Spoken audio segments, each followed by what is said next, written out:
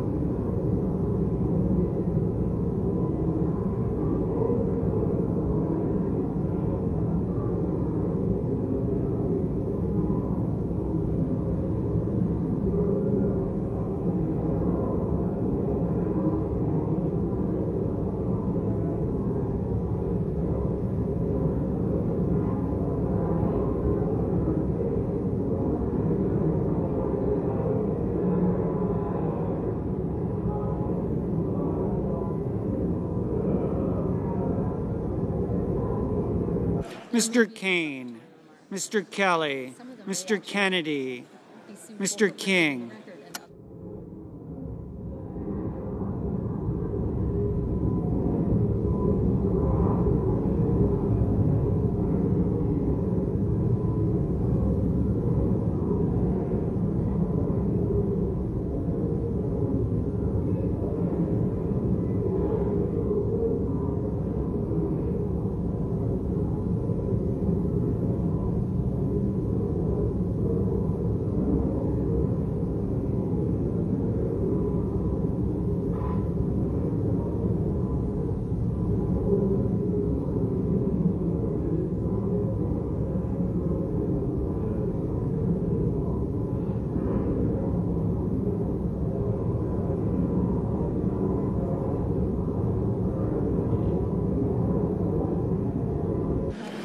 Ms. Klobuchar, Mr. Lankford, Mr. Lee, Mr. Lujan.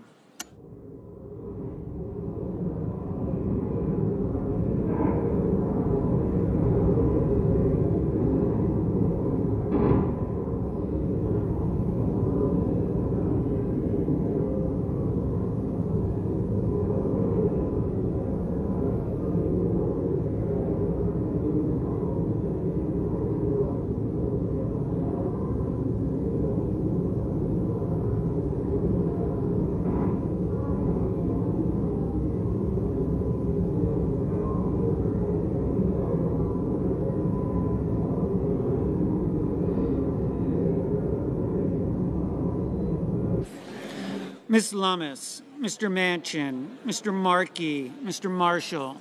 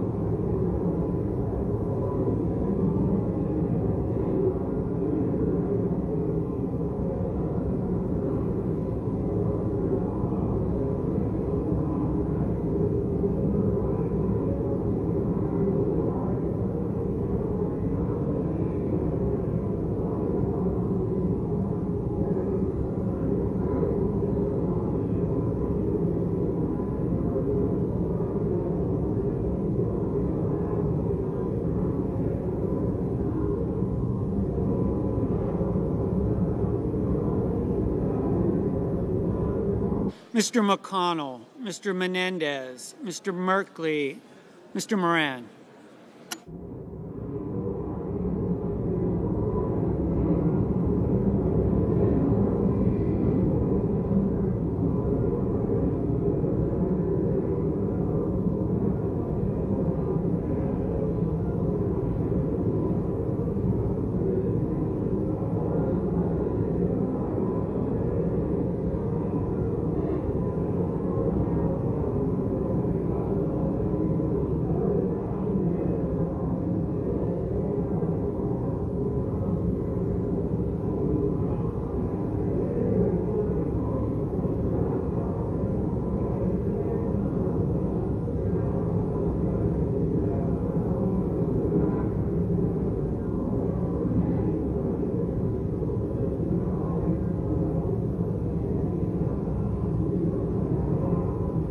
Mr. Mullen, Ms. Murkowski, Mr. Murphy, Mrs. Murray.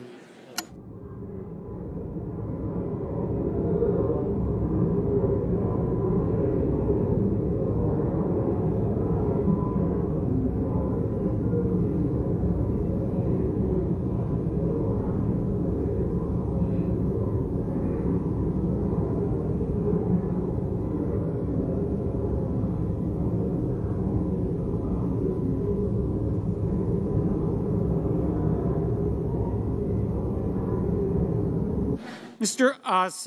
Mr. Padilla, Mr. Paul, Mr. Peters.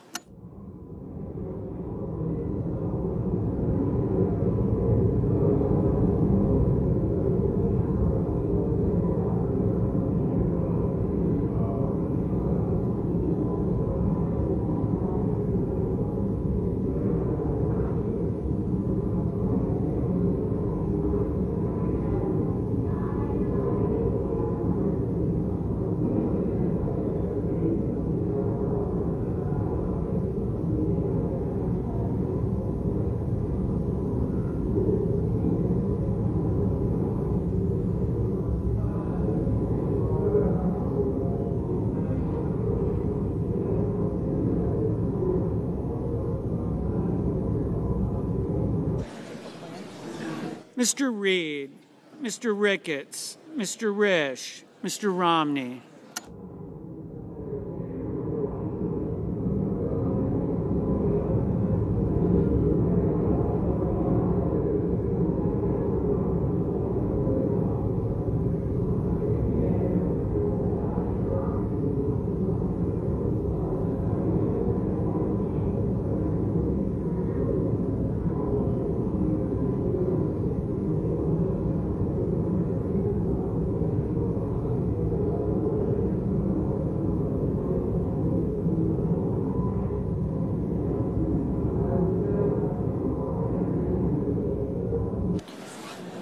Ms. Rosen, Mr. Rounds, Mr. Rubio, Mr. Sanders.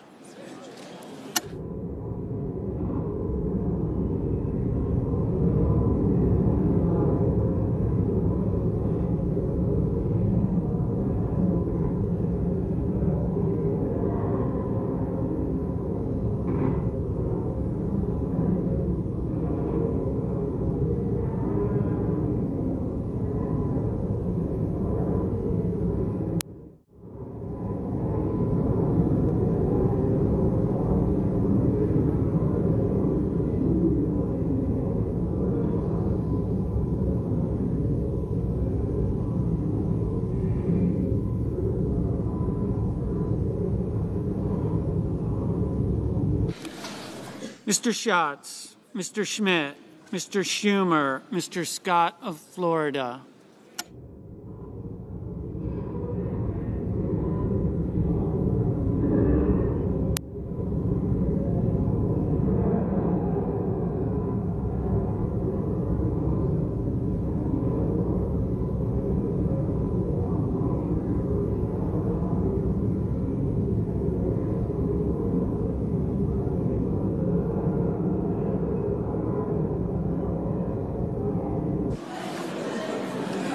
Mr. Scott of South Carolina, Mrs. Shaheen, Ms. Sinema, Ms. Smith.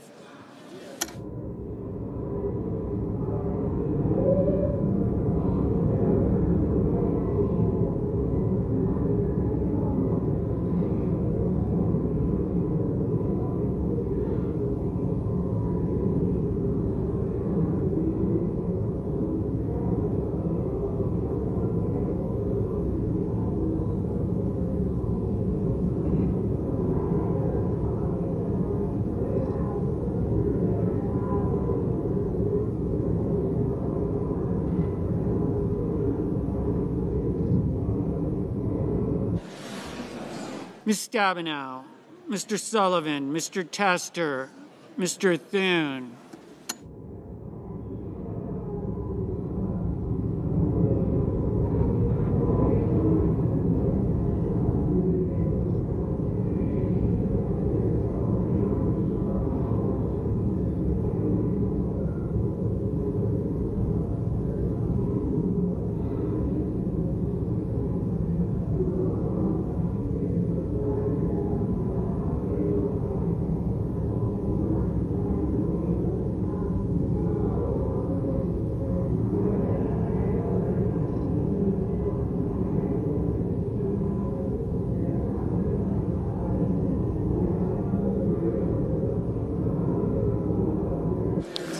Mr. Tillis, Mr. Tuberville, Mr. Van Hollen, Mr. Vance.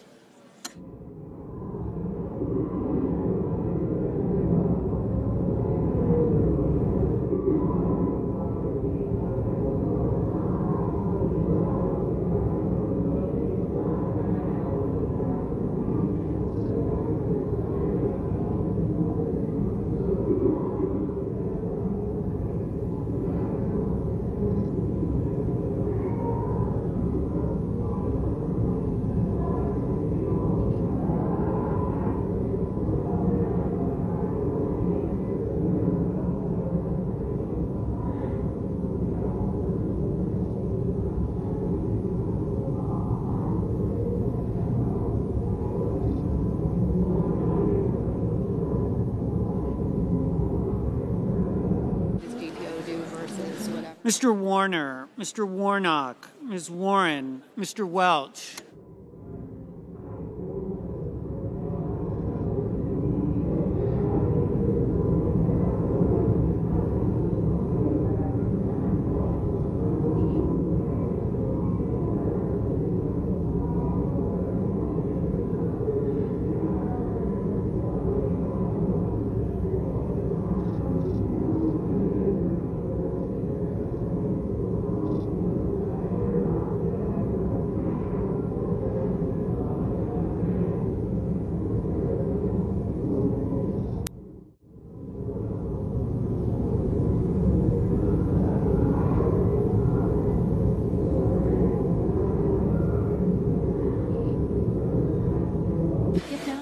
Whitehouse, Mr. Wicker, Mr. Wyden, Mr. Young.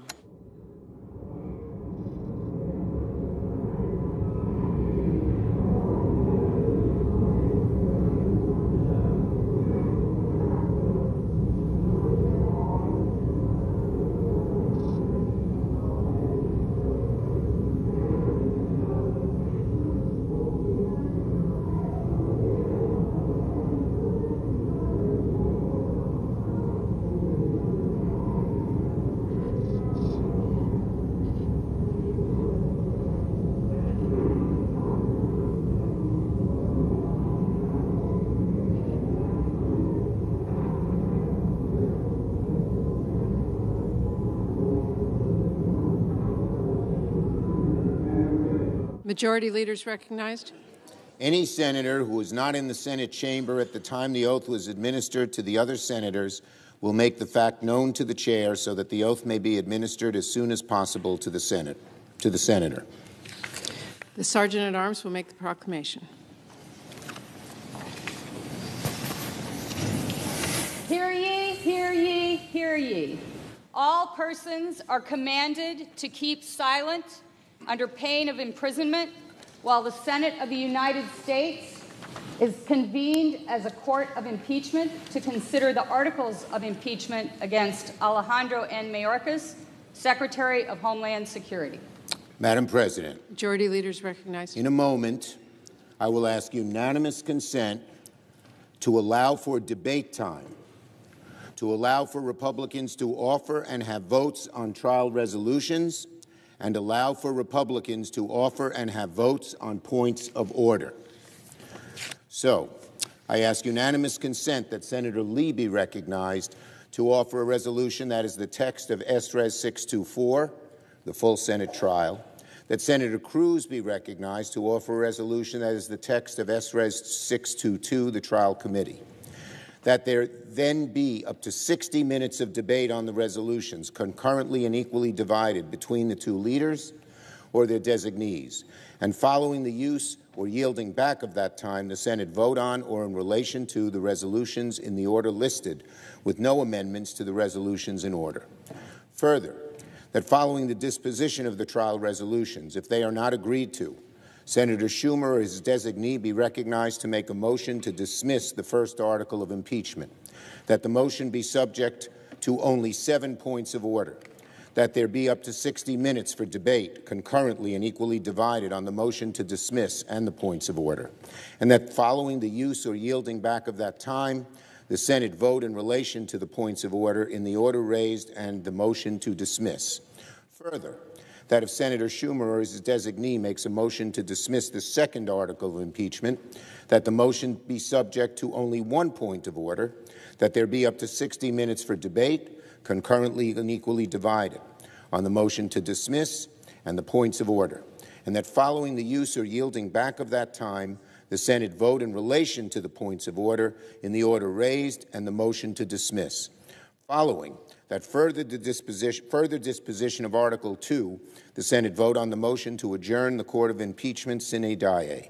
Finally, that there be up to four minutes for debate equally divided between the two leaders or their designees prior to each roll call vote, all without intervening action or debate. Is there an objection? Madam President, Senator from Missouri. reserving my right to object. To dismiss or table articles of impeachment against Secretary Mayorkas without a trial here today or in committee is an unprecedented move by Senator Schumer. Never before in the history of our republic has the Senate dismissed or tabled articles of impeachment when the impeached individual was alive and had not resigned. As Senator Schumer said in 2020, quote, a fair trial has witnesses. A fair trial has relevant documents as part of the record. A fair trial seeks the truth. Nothing more, nothing less. I will not assist Senator Schumer in setting our Constitution ablaze and bulldozing 200 years of precedent. Therefore, I object. Madam President, Object- objection is heard. Madam President, I raise a point of order that impeachment Article 1 does not allege conduct that rises to the level of a high crime or misdemeanor as required under Article 2, Section 4 of the United States Constitution, and is therefore unconstitutional. Uh, under the precedents and practices of the Senate, the chair has no power or authority to pass on such a point of order. The chair, therefore, under the precedents of the Senate, submits the question to the Senate. Is the point of order well taken? The Republican leader is recognized. Clerk will call the roll. Ms. Baldwin.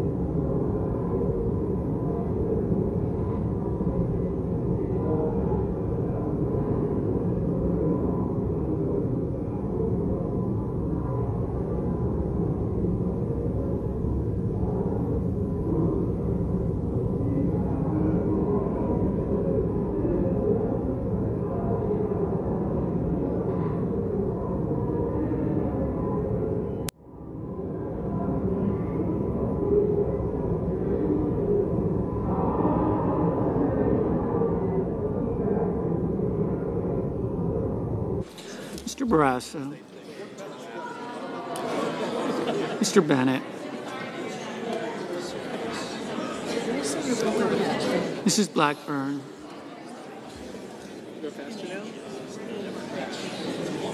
Mr. Blumenthal. Mr. Booker. Mr. Boozman. Mr. Braun.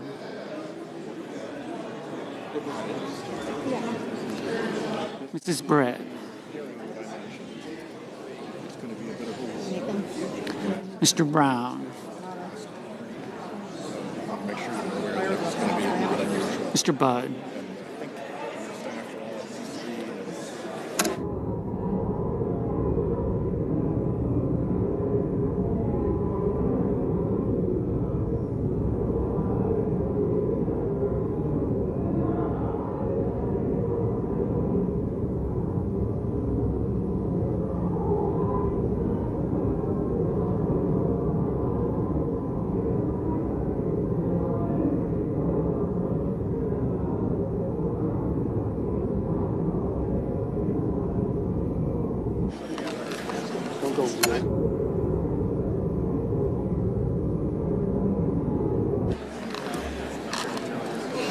Mrs. Capito. Mr. Cardin. Mr. Carper. Mr. Casey. Mr. Cassidy. Ms. Collins. Mr. Coons. Mr. Cornyn. Ms. Cortez Masto. Mr. Cotton.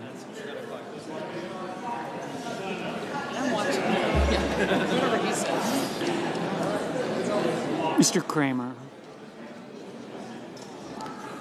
Mr. Crapo. Mr. Cruz. Mr. Daines. Ms. Duckworth. Mr. Durbin. Miss Ernst. Mr. Fetterman. Mrs. Fischer. Mrs. Gillibrand. Mr. Graham. Mr. Grassley. Mr. Hagerty. Ms. Hassan. Mr. Hawley. Mr. Heinrich. Mr. Hickenlooper. Mr. Rono. John. Senator Collins wants you. Mr. Hoeven. Mrs. Hyde Smith. Mr. Johnson. Mr. Kaine. Mr. Kelly. Mr. Kennedy. No, fine with that. Mr. King. Ms. Klobuchar. That's what we told. Mr. Lankford, Mr. Lee, Mr. Lujan, Ms. Lummis, Mr. Manchin. Mr. Markey, Mr. Marshall, Mr. McConnell, Mr. Menendez, Mr. Merkley, Mr. Moran, Mr. Mullen, Ms. Murkowski, Mr. Murphy, Mrs. Murray, Mr. Ossoff, Mr. Padilla, Mr. Paul, Mr. Peters, Mr. Reed, Mr. Ricketts, Mr. Risch, Mr. Romney, Miss Rosen, Mr. Rounds, Mr. Rubio, Mr. Sanders, Mr. Schatz, Mr. Schmitt, Mr. Schumer, Mr. Scott of Florida, Mrs. Shaheen.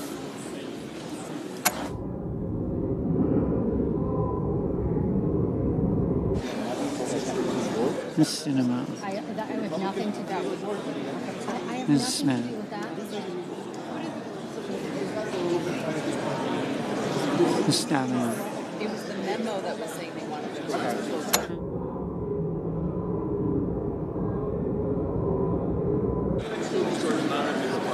Mr. Sullivan, Mr. Tester,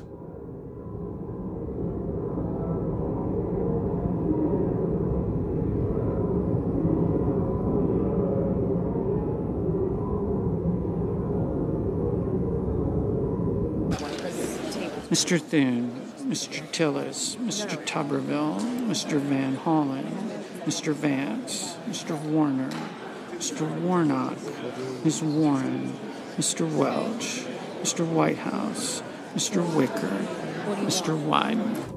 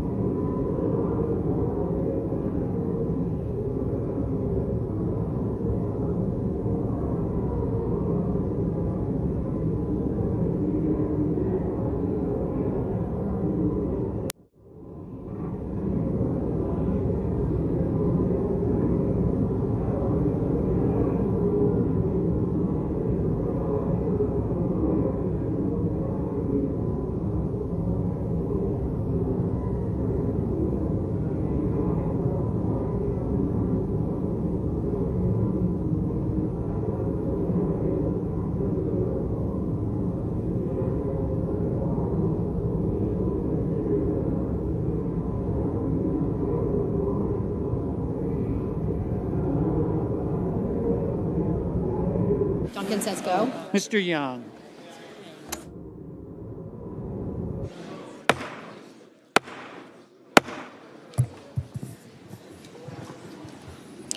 A quorum is present. The Senate is considering the point of order presented by the Majority Leader. Madam President. Senator from Texas. Madam President, I rise to make a motion. The Majority Leader has argued that Secretary Mayorkas's defiance of federal immigration law and active aiding and abetting of the worst criminal invasion in our nation's history does not constitute a high crime or misdemeanor. He has presented no argument on that question. He has presented no briefing on that question, and the position is directly contrary to the Constitution, to the original understanding of the Constitution at the time it was ratified, and to the explicit position of the Biden Department of Justice as argued before the Supreme Court of the United States. The Majority Leader's position is asking members of this Senate to vote on political expediency to avoid listening to arguments. The only rational way to resolve this question is actually to debate it, to consider the Constitution and consider the law. The Senator will recognize that the Senate is in a non debatable position. The Senator has a right to offer his point of order. Uh, but, or his motion, but we are in a non debatable position. And my motion is to change that so that we can actually debate the law if senators care what the Constitution and law says. I therefore move that the Senate proceed to closed session to allow for deliberation on the question as required by Impeachment Rule 24. Madam President, Majority Leader. in our previous consent request, we gave your side a chance for debate in public, where it should be, and your side objected. We are moving forward. Question is on the The question is on the motion. Ask for the yeas and nays. Is there a sufficient second? There is a sufficient uh, s- uh, second. The clerk will call the roll. Ms. Baldwin. Mr. Barrasso. Mr. Bennet. Mrs. Blackburn. Mr. Blumenthal. Mr. Booker. Mr. Boozman. Mr. Braun. Mrs. Britt. Mr. Brown. Mr. Budd. Ms. Butler. Ms. Cantwell. Mrs. Capito. Mr. Cardin. Mr. Carper. Mr. Casey. Mr. Cassidy. Ms. Collins. Mr. Coons. Mr. Cornyn. Ms. Cortez Masto. Mr. Cotton. Mr. Cramer. Mr. Crapo. Mr. Cruz. Mr. Daines. Ms. Duckworth. Mr. Durbin. Ms. Ernst. Mr. Fetterman. Mrs. Fischer. Mrs. Gillibrand. Mr. Graham. Mr. Grassley. Mr. Hagerty. Ms. Hassan. Mr. Hawley.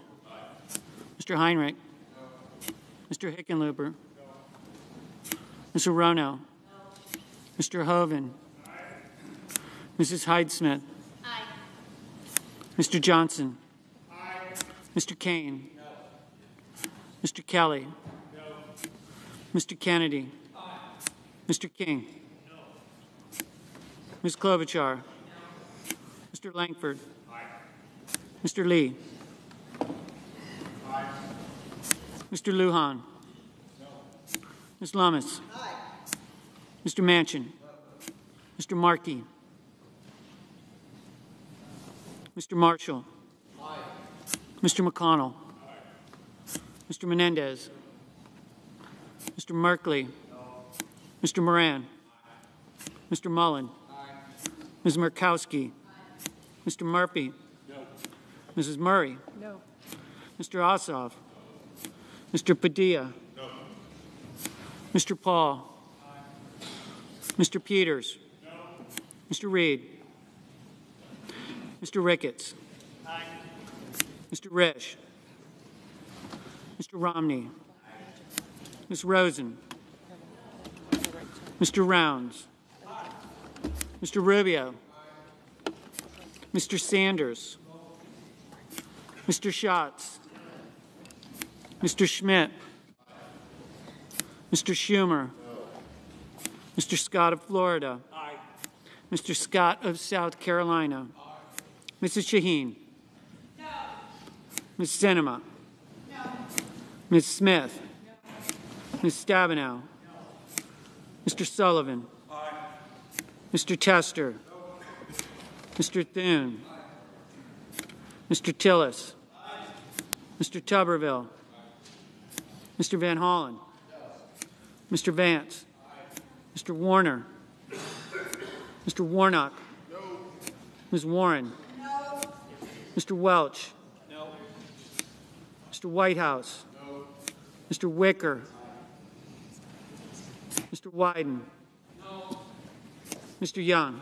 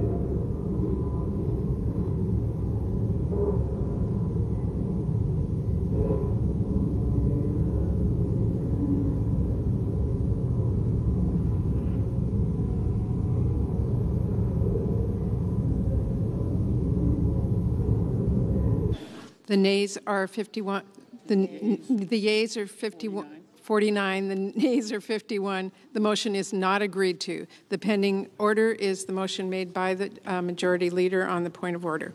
Madam President, Senator from Louisiana. Madam President, I have a motion. I think my motion takes precedent. Um, having heard Senator Schumer's serious allegations, which in my judgment are specious, about the constitutionality of, uh, of these impeachment proceedings, we find ourselves in the awkward position because we're in impeachment proceedings of being able unable to discuss in public uh, the, the merits of Senator Schumer's claim, and at the same time, my Democratic friends have refused to go into closed session, so we can't discuss it. Will So, the for that reason, please- Madam President, I move we adjourn this court of impeach- impeachment immediately until 12 o'clock noon on Tuesday, April 30th, and I ask for the yeas and nays. Is there a sufficient second? There is a sufficient second. The clerk will call the roll. Ms. Baldwin. Mr. Barrasso. Mr. Bennet.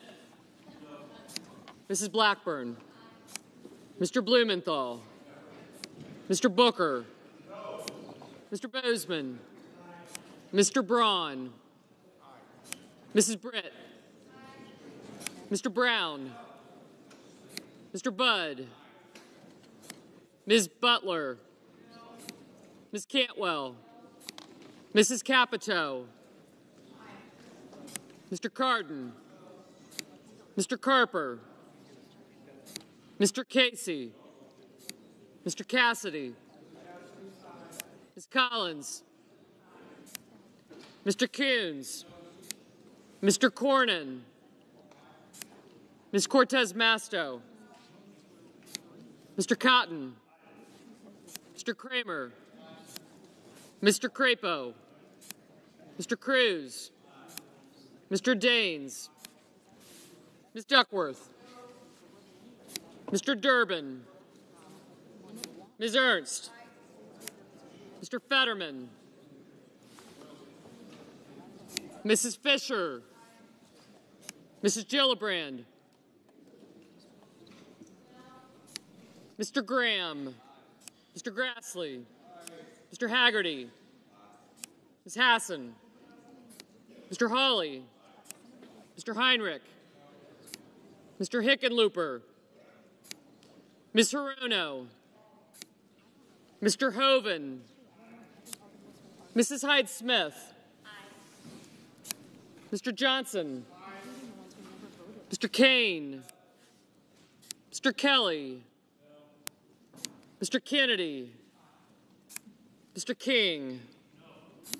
Ms. Klobuchar. Mr. Lankford. Mr. Lee. Mr. Lujan. Ms. Lummis. Mr. Manchin. Mr. Markey. Mr. Marshall. Mr. McConnell. Mr. Menendez. Mr. Merkley. Mr. Moran. Mr. Mullen. Ms. Murkowski. Mr. Murphy. Mrs. Murray. Mr. Ossoff. Mr. Padilla. Mr. Paul. Mr. Peters. Mr. Reed. Mr. Ricketts. Mr. Risch. Mr. Romney. Ms. Rosen. Mr. Rounds. Mr. Rubio. Mr. Sanders. Mr. Schatz. Mr. Schmitt. Mr. Schumer. Mr. Scott of Florida. Mr. Scott of South Carolina. Mrs. Shaheen. Ms. Sinema. Ms. Smith. Ms. Stabenow. Mr. Sullivan. Mr. Tester. Mr. Thune. Mr. Tillis. Mr. Tuberville. Mr. Van Hollen. Mr. Vance. Mr. Warner. Mr. Warnock. Ms. Warren. Mr. Welch. Mr. Whitehouse. Mr. Wicker. Mr. Wyden. Mr. Young.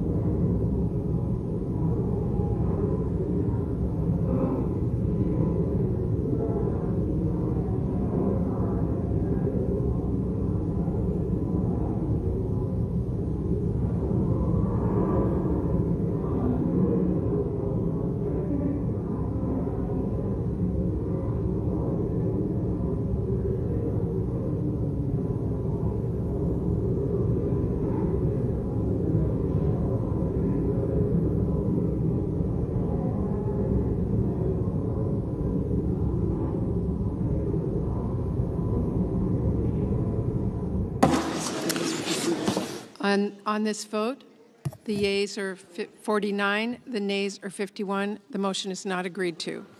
Madam President, The Republican leader is recognized. the Senate just swore an oath to do impartial justice according to the Constitution and the laws of our country. We swore to discharge a duty that is quite different from our normal work. As a court of impeachment, we're called not to speak, not to debate, but to listen, both to the case against the accused and to his defense. At this point, in any trial in the country, the prosecution presents the evidence of the case, counsel for the defense does the same, and the jury remains silent as it listens. This is what our rules require of us as well. But the Senate has not had the opportunity to perform this duty.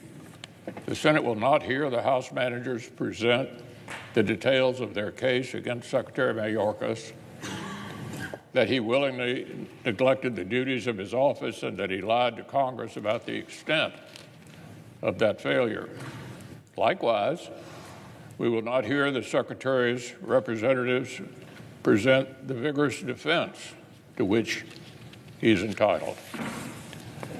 Our colleagues know that we are obligated to take these proceedings seriously. This is what our oath prescribes, it's what the history and precedent require, and I would urge each of our colleagues to consider that this is what the framers actually envisioned.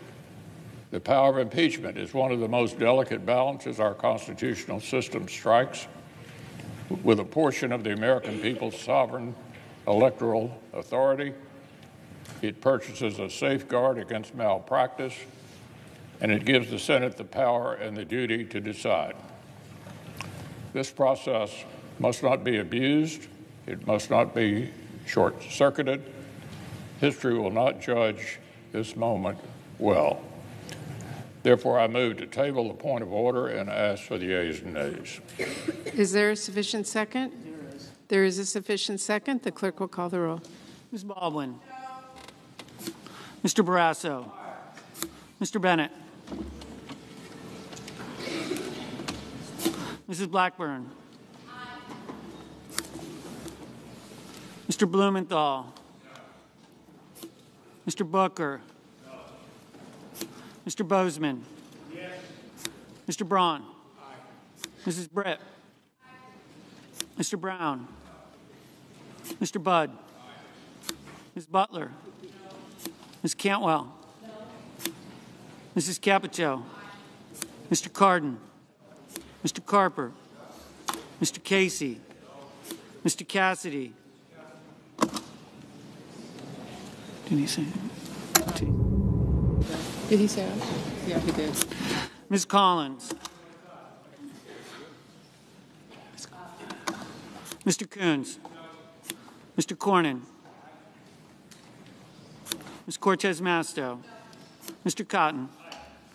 Mr. Cramer. Mr. Crapo. Mr. Cruz. Mr. Daines. Ms. Duckworth. Mr. Durbin. Ms. Ernst. Mr. Fetterman.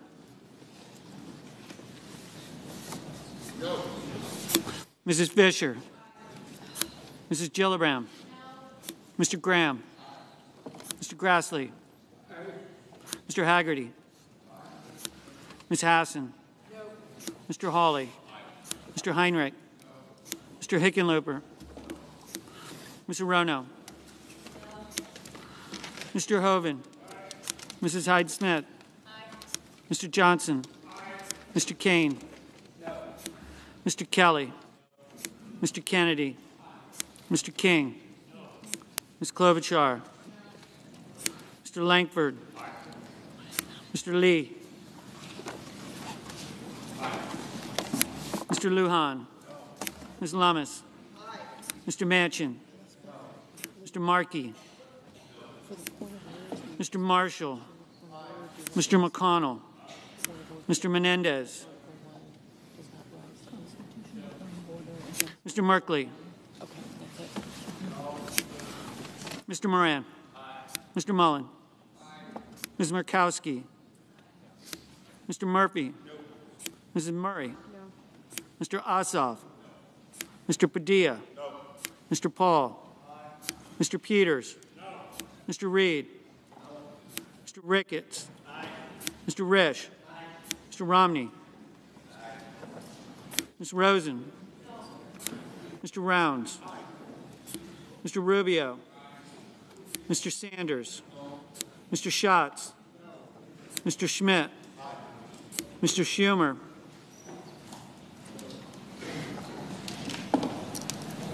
Mr. Scott of Florida.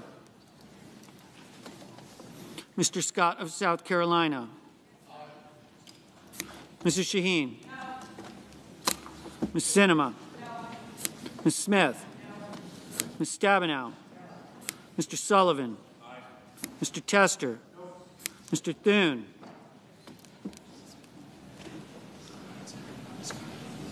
Mr. Tillis. Mr. Tuberville. Mr. Van Hollen. Mr. Vance. Mr. Warner. Mr. Warnock. Ms. Warren. Mr. Welch. Mr. Whitehouse. Mr. Wicker. Mr. Wyden. Mr. Young.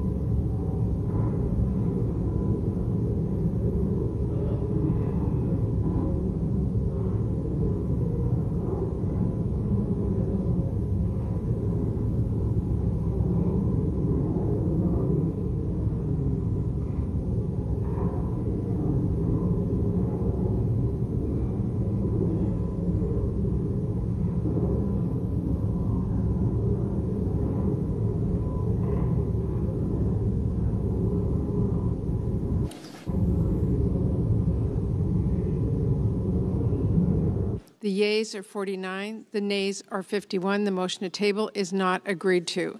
The motion before the Senate is the point of order. The question is on whether the point of order is well taken. Is there a sufficient? Is there a sufficient second? There is. There is. Clerk will call the roll. Ms. Baldwin. Mr. Barrasso. Mr. Bennet. Mrs. Blackburn.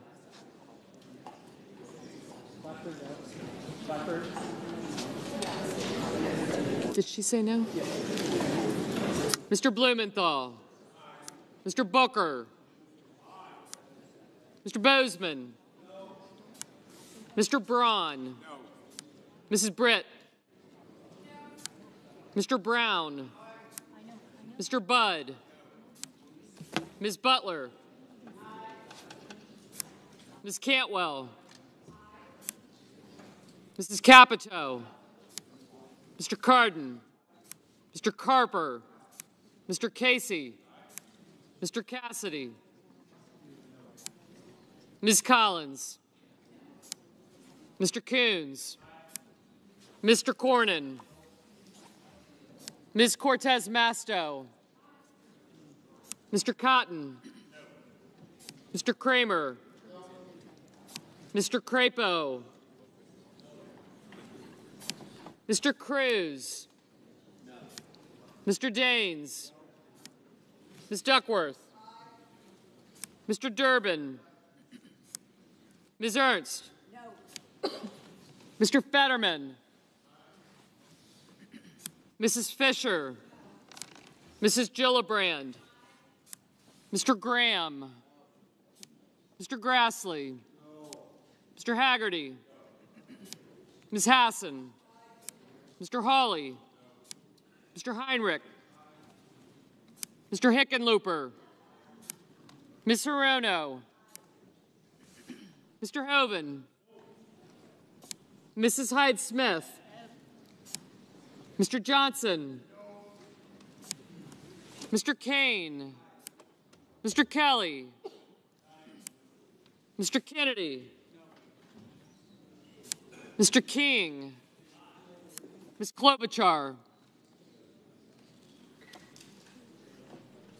Mr. Lankford, Mr. Lee, Mr. Lujan,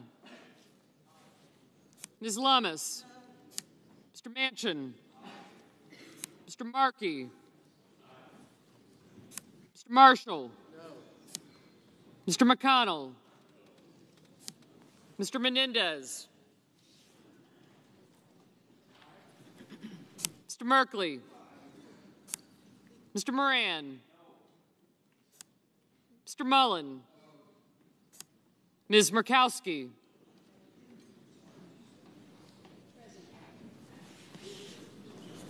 Mr. Murphy,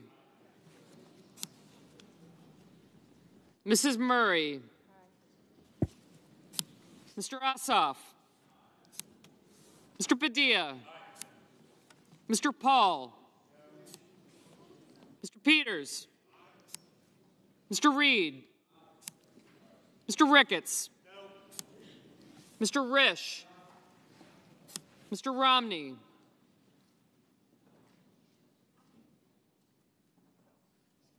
Okay. Ms. Rosen, Mr. Rounds, Mr. Rubio, Mr. Sanders, Mr. Schatz, Mr. Schmitt,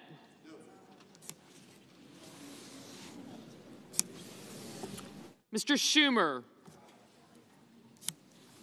Mr. Scott of Florida, Mr. Scott of South Carolina, Mrs. Shaheen, Ms. Sinema. Ms. Smith, Ms. Stabenow, Mr. Sullivan, Mr. Tester, Mr. Thune, Mr. Tillis, Mr. Tuberville, Mr. Van Hollen, Mr. Vance, Mr. Warner, Mr. Warnock,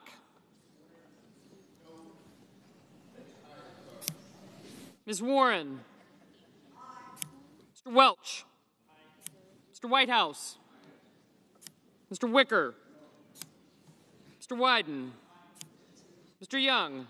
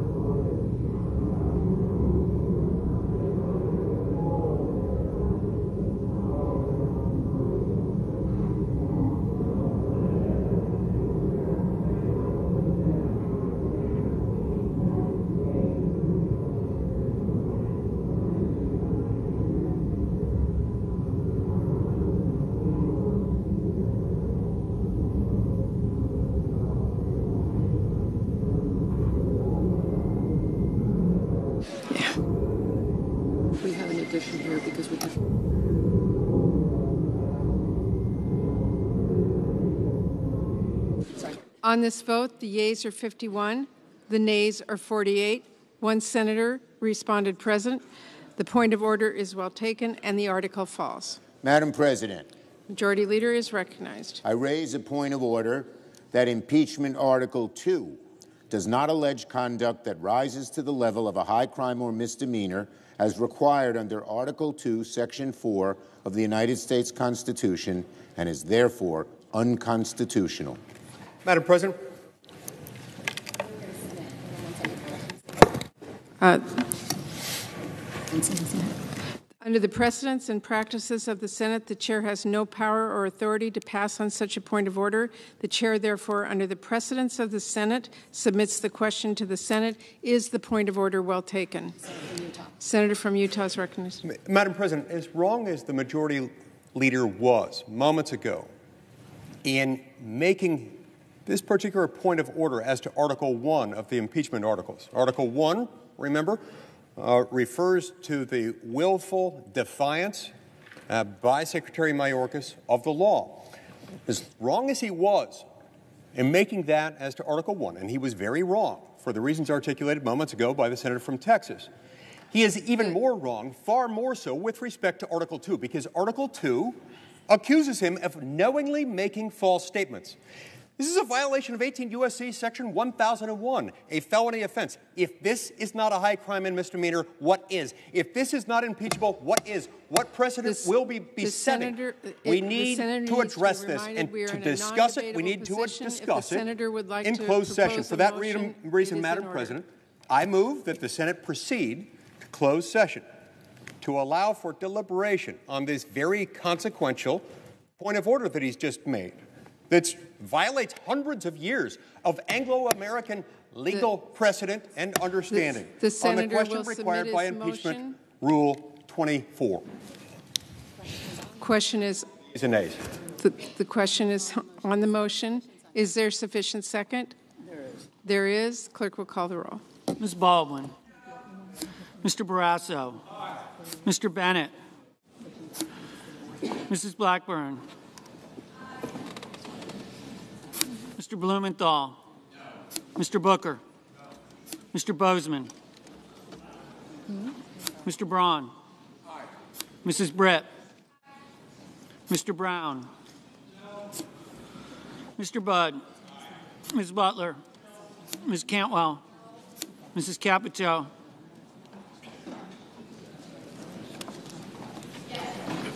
Mr. Cardin. Mr. Carper. Mr. Casey.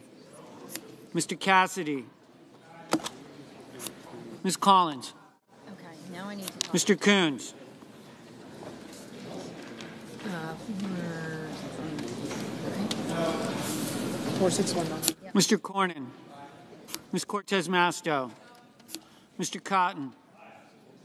Mr. Cramer. Mr. Crapo. Mr. Cruz. Mr. Daines. Ms. Duckworth. Mr. Durbin. Ms. Ernst. Mr. Fetterman.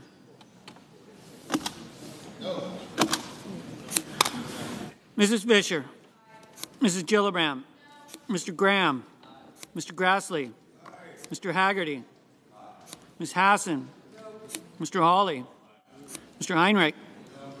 Mr. Hickenlooper. Mr. Rono. Mr. Hoeven. Mrs. Hyde Smith. Mr. Johnson. Mr. Kaine. Mr. Kelly. Mr. Kennedy.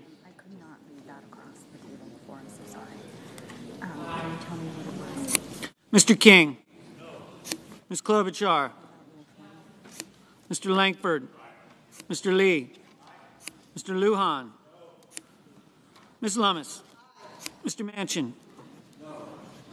Mr. Markey. Mr. Marshall. Mr. McConnell.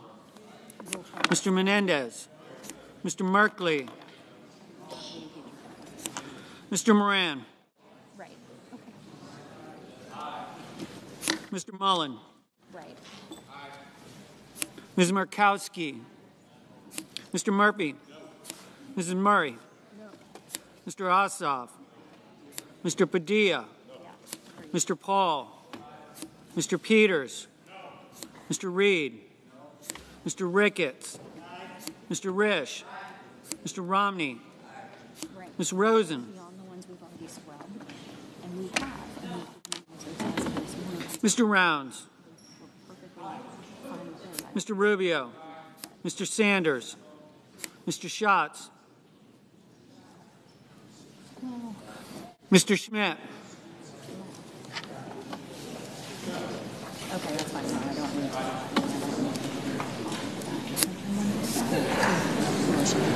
Mr. Schumer. Mr. Scott of Florida. Scott of South Carolina. Mrs. Shaheen. Ms. Sinema. Ms. Smith. Ms. Stabenow. Mr. Sullivan. Mr. Tester. Mr. Thune. Mr. Tillis. Mr. Tuberville. Mr. Van Hollen. Mr. Vance. Mr. Warner. Mr. Warnock. Ms. Warren. Mr. Welch. Mr. Whitehouse. Mr. Wicker. Mr. Wyden. Mr. Young.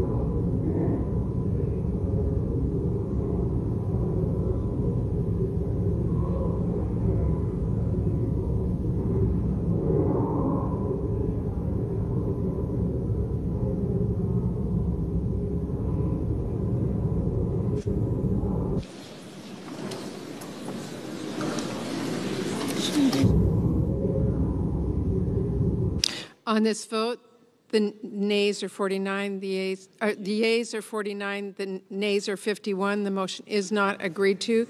The pending business is the point of order raised by the majority leader. Madam President, Senator from Florida. Madam President, as jurors, we have not had the time to review whether this point of order is contrary to the Constitution. Therefore, I move to adjourn the court of impeachment until 12 p.m. noon on Tuesday, April 30th, and ask for the yeas and nays. Is there a sufficient second? There is a sufficient second. The clerk will call the roll. Ms. Baldwin. Mr. Barrasso. Mr. Bennet. Mrs. Blackburn. Mr. Blumenthal. Mr. Booker. Mr. Boozman. Mr. Braun. Mrs. Britt. Mr. Brown.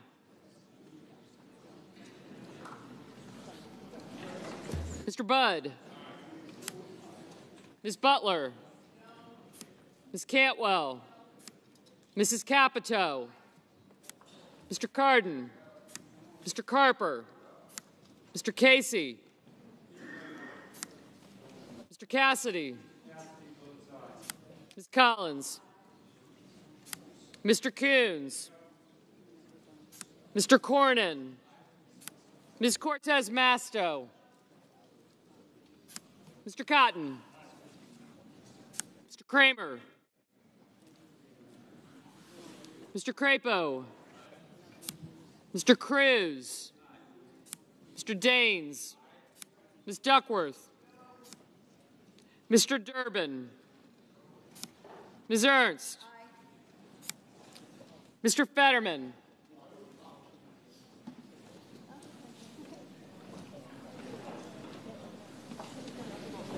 Mrs. Fischer, Mrs. Gillibrand, Mr. Graham, Mr. Grassley, Mr. Hagerty, Ms. Hassan, Mr. Hawley, Mr. Heinrich, Mr. Hickenlooper, Ms. Hirono, Mr. Hoeven, Mrs. Hyde Smith, Mr. Johnson, Mr. Kaine, Mr. Kelly, Mr. Kennedy, Mr. King, Ms. Klobuchar, Mr. Lankford, Mr. Lee, Mr. Lujan, Ms. Lummis, Mr. Manchin, Mr. Markey, Mr. Marshall, Mr. McConnell,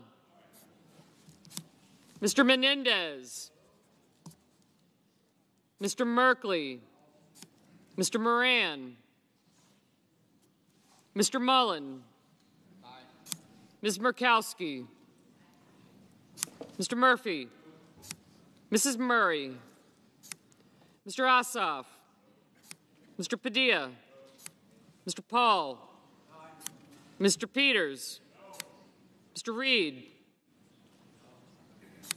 Mr. Ricketts, Mr. Risch, Mr. Romney, Ms. Rosen, Mr. Rounds, Mr. Rubio, Mr. Sanders, Mr. Schatz, Mr. Schmitt, Mr. Schumer, Mr. Scott of Florida, Mr. Scott of South Carolina, Mrs. Shaheen, Ms. Sinema, Ms. Smith, Ms. Stabenow, Mr. Sullivan, Mr. Tester, Mr. Thune, Mr. Tillis, Mr. Tuberville, Mr. Van Hollen, Mr. Vance,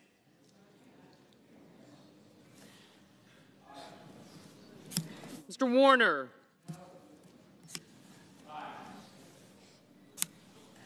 Mr. Warnock, Ms. Warren, Mr. Welch, Mr. Whitehouse, Mr. Wicker, Mr. Wyden, Mr. Young,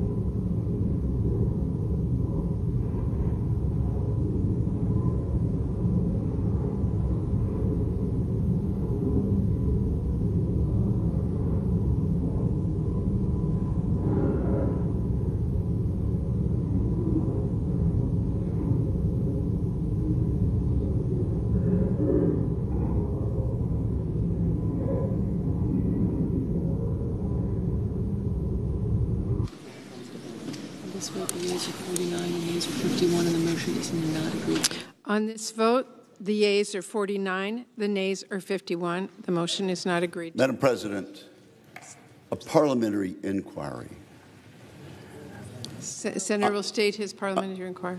I- I appreciate that my friend from New York is eager to get this done with. But are we about to set a precedent that the allegation of a felony is not a high crime and misdemeanor? That is not, um, that is not an appropriate parliamentary. That is not an appropriate parliamentary inquiry. Madam President, I, I understand there are other ways for the majority to move this off the floor of the Senate, but Does the- I would I would urge my colleagues senator have a motion to that he wishes understand to make? what we're doing. Question is on the point of order raised by the majority leader. Madam President. The senator from Louisiana. Thank you, Madam President. I have a motion, and it takes precedence. As I State your motion. appreciate the majority leader's allegation, lying to the United States Congress is not a high crime and misdemeanor. You don't have to be Mensa material to know that it's The not senator only a high motion. crime and misdemeanor, it is a felony. Would, would the senator please state his motion? I will. Since we're not allowed to talk among ourselves about the absurdity of this, and my Democratic colleagues will not allow us to go into closed session to talk about the The, Sen- absurdity of this, the Senate is I not in a move that we adjourn until 12 o'clock noon on May the 1st, 2004, and I ask for the yeas and nays. Is there a sufficient second?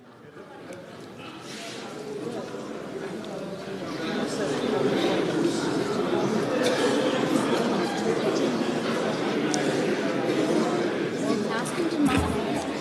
Would the senator modify his motion? I would ask the senator to modify his motion. Madam President, 2004 would probably be preferable.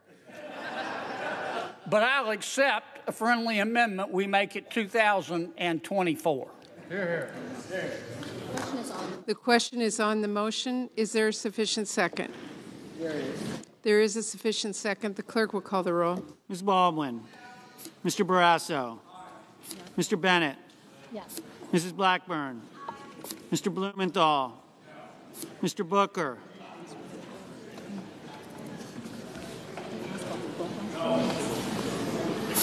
Mr. Boozman. Mr. Braun.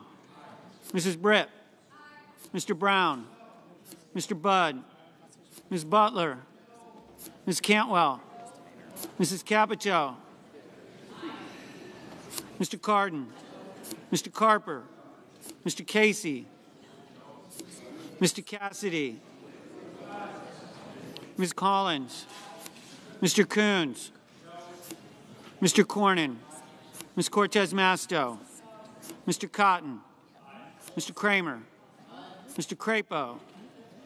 Mr. Cruz. Mr. Daines. Ms. Duckworth. Mr. Durbin. Ms. Ernst. Mr. Fetterman. Mrs. Fischer. Mrs. Gillibrand. Mr. Graham. Mr. Grassley. Mr. Hagerty. Question? Ms. Hassan. Mr. Hawley. Mr. Heinrich. Mr. Hickenlooper. just correct Mr. Hoeven.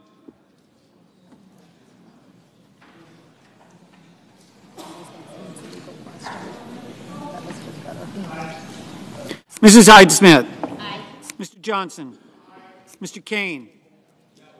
Mr. Kelly. Mr. Kennedy. Mr. King. Ms. Klobuchar. Mr. Lankford.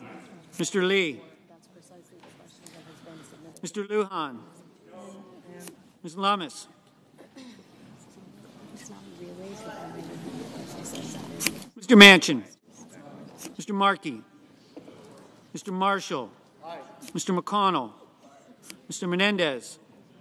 Mr. Mr. Merkley, Mr. Moran, Mr. Mullen, Ms. Murkowski, Mr. Murphy, Mrs. Murray, Mr. Ossoff, Mr. Padilla, Mr. Paul, Mr. Peters, Mr. Reed, Mr. Ricketts, Mr. Risch,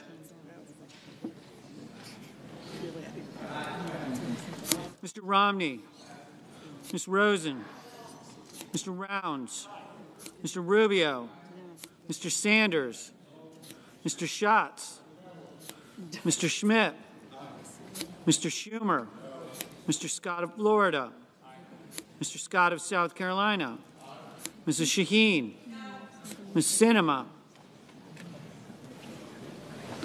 Ms. Smith, Ms. Stabenow, Mr. Sullivan, Mr. Tester, Mr. Thune, Mr. Tillis, Mr. Tuberville, Mr. Van Hollen, Mr. Vance, Mr. Warner, Mr. Warnock, Ms. Warren, Mr. Welch, Mr. Whitehouse, Mr. Wicker, Mr. Wyden, Mr. Young.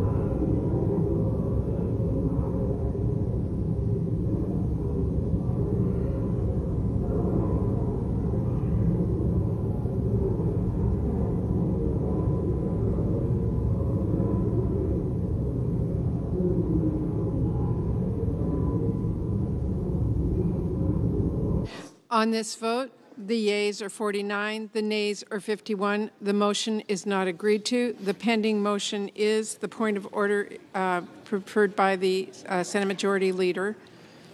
Madam President. Senator from, Senator from Kansas is recognized. Madam President, I have a motion and it takes precedent. Before this body disrespects the Constitution any further, before we endanger our republic anymore, before we harm the reputation of this body anymore, I move to adjourn until 7 a.m. on November 6th, 2024, so the American people can at least have a vote on this impeachment trial. Question is on the motion. Is there a sufficient second? Just say the words. I ask you to name the names. Say the words. Is there a sufficient second? There is a sufficient second. Clerk will call the roll. Ms. Baldwin. Mr. Barrasso. Mr. Bennet. Mrs. Blackburn. Mr. Blumenthal. Mr. Booker. Mr. Boozman. Mr. Braun. Mrs. Britt. Mr. Brown. Mr. Budd. Ms. Butler. Ms. Cantwell. Mrs. Capito. Mr. Cardin. Mr. Carper. Mr. Casey. Mr. Cassidy. Ms. Collins. Mr. Coons. Mr. Cornyn. Ms. Cortez Masto. Mr. Cotton.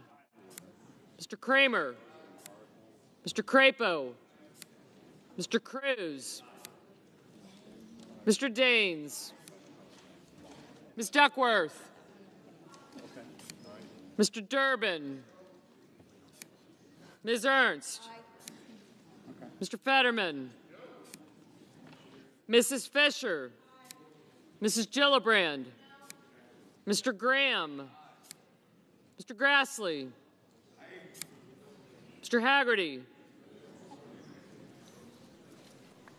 Ms. Hassan. Mr. Hawley. Mr. Heinrich. Mr. Hickenlooper. Ms. Hirono. Mr. Hoeven. Mrs. Hyde Smith. Mr. Johnson. Mr. Kaine. Mr. Kelly. Mr. Kennedy. Mr. King. Ms. Klobuchar. Mr. Lankford. Mr. Lee. Mr. Lujan. Ms. Lummis. Mr. Manchin. Mr. Markey. Mr. Marshall. Mr. McConnell. Mr. Menendez. Mr. Merkley. Mr. Moran.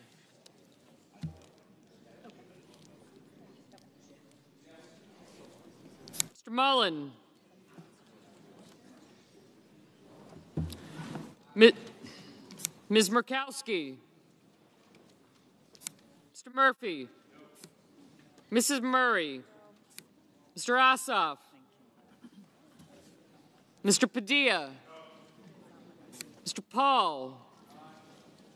Mr. Peters. Mr. Reed. Mr. Ricketts. Mr. Risch. Mr. Romney. Ms. Rosen. Mr. Rounds. Mr. Rubio. Mr. Sanders. Mr. Schatz. Mr. Schmitt. Mr. Schumer. Mr. Scott of Florida. Mr. Scott of South Carolina. Mrs. Shaheen. Ms. Sinema, Ms. Smith, Ms. Stabenow, Mr. Sullivan, Mr. Tester,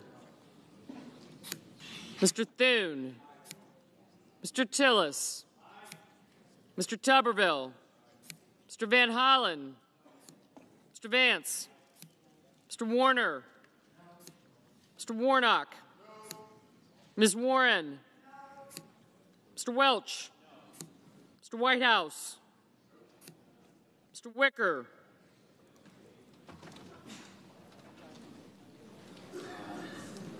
Mr. Wyden, Mr. Young,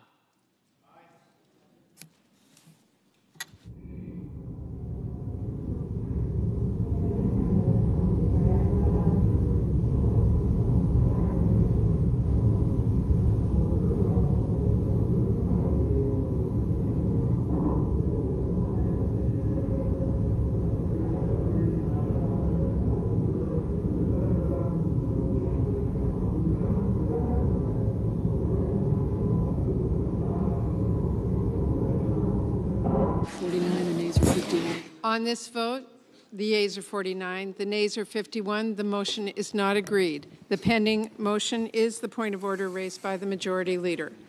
Madam President. Senator from Alaska. Madam President, we seem to be in unprecedented territory here, so I have a parliamentary in- inquiry. State your inquiry, please. Madam President, has there been a successfully invoked point of order to dispose of an article of impeachment prior to opening arguments by the House managers? The chair is not aware of any such occurrence. Thank you, Madam President. The pending, Unprecedented pen- as I mentioned. Pending business is the point of order raised by the majority leader.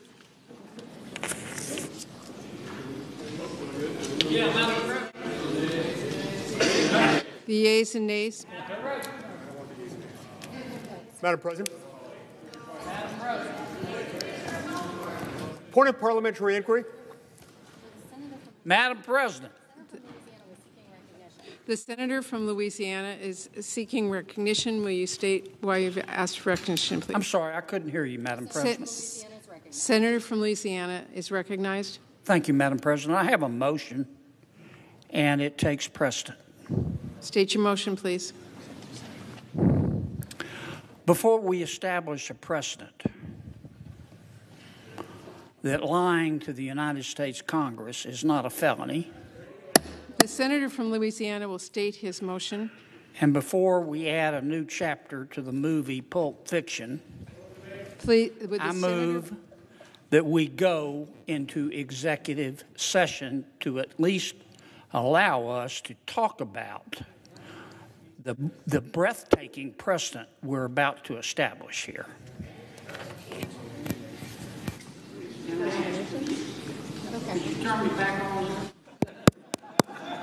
And I ask for the yeas and nays. The question is on the motion to proceed to executive session.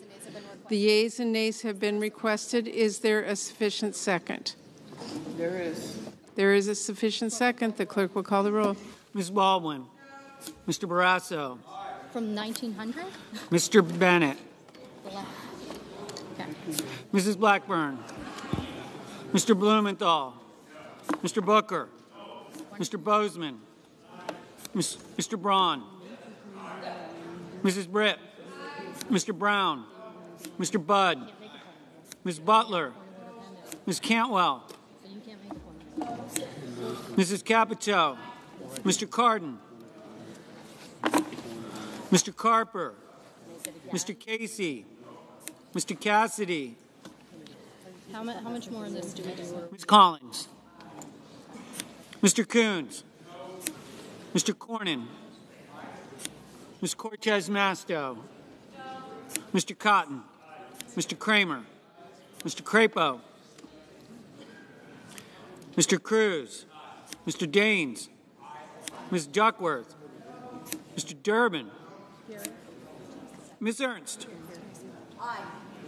Mr. Fetterman, Mrs. Fischer, Mrs. Gillibrand, Mr. Graham, Mr. Grassley,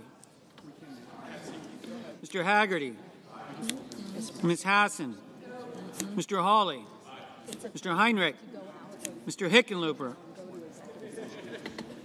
Not 19th century. Ms. Hirono, Mr. Hoeven, Mrs. Hyde Smith? No. Mr. Johnson, Mr. Kaine, Mr. Kelly, Mr. Kennedy, Mr. King, Ms. Klobuchar,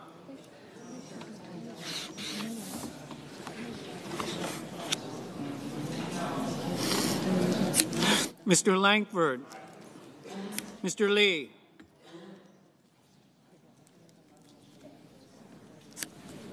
Yeah, those are. Mr. Lujan, Ms. Lummis, Mr. Manchin, Mr. Markey, Mr. Marshall, Mr. McConnell, Mr. Menendez, Mr. Merkley, Mr. Moran, Mr. Mullen, Ms. Murkowski, Mr. Murphy, Mrs. Murray, Mr. Ossoff, Mr. Padilla, Mr. Paul, Mr. Peters, Mr. Reed, Mr. Ricketts, Mr. Risch, Mr. Romney, Ms. Rosen, Mr. Rounds, Mr. Rubio, Mr. Sanders, Mr. Schatz, Mr. Schmitt, Mr. Schumer, Mr. Scott of Florida, Mr. Scott of South Carolina, Mrs. Shaheen, Ms. Sinema, Ms. Smith, Ms. Stabenow, Mr. Sullivan, Mr. Tester, Mr. Thune, Mr. Tillis. Mr. Tuberville, Mr. Van Hollen,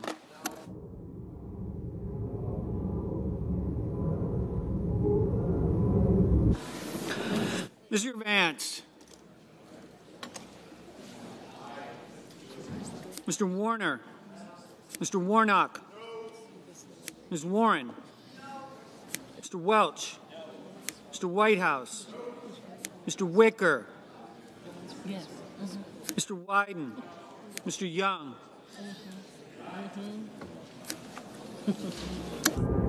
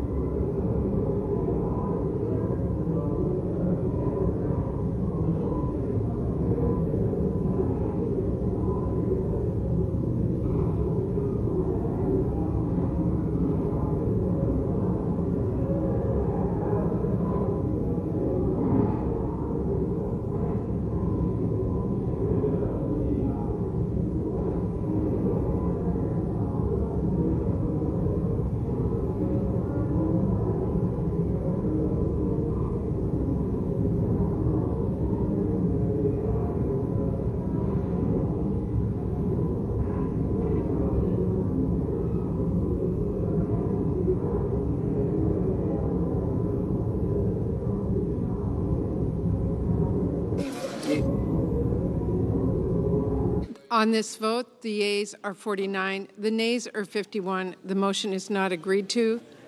The pending amendment is the point of order. Pending motion is the point of order raised by the majority leader. Madam President, Uh, the senator recognizes the Republican whip. Madam President, I think it goes without saying that the Mayorkas Biden policies have led to the worst border crisis in American history. 7.6 million people apprehended, 1.8 million gotaways. Who knows how the, many the unknown senator is reminded that, that we are in a non-debatable position in the Senate.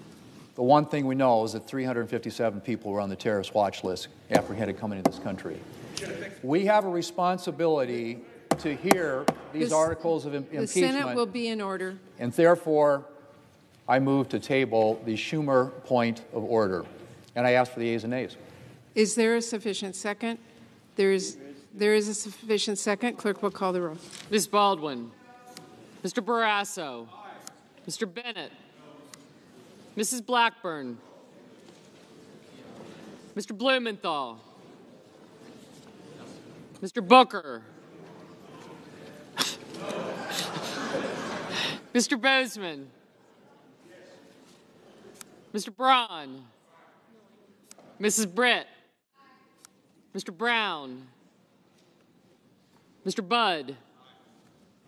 Ms. Butler. Ms. Cantwell. Mrs. Capito. Mr. Cardin. Mr. Carper. Mr. Casey. Mr. Cassidy. Ms. Collins. Mr. Coons. Mr. Cornyn. Ms. Cortez Masto. Mr. Cotton. Mr. Cramer. Mr. Crapo. Mr. Cruz. Mr. Daines. Ms. Duckworth. Mr. Durbin. Thank you. Ms. Ernst. Mr. Fetterman. Mrs. Fischer. Mrs. Gillibrand. Mr. Graham. Mr. Grassley. Mr. Hagerty. Ms. Hassan. Mr. Hawley. Mr. Heinrich. Mr. Hickenlooper. Ms. Hirono. Mr. Hoeven. Mrs. Hyde Smith. Mr. Johnson. Mr. Kaine. Mr. Kelly. Mr. Kennedy. Mr. King. Ms. Klobuchar.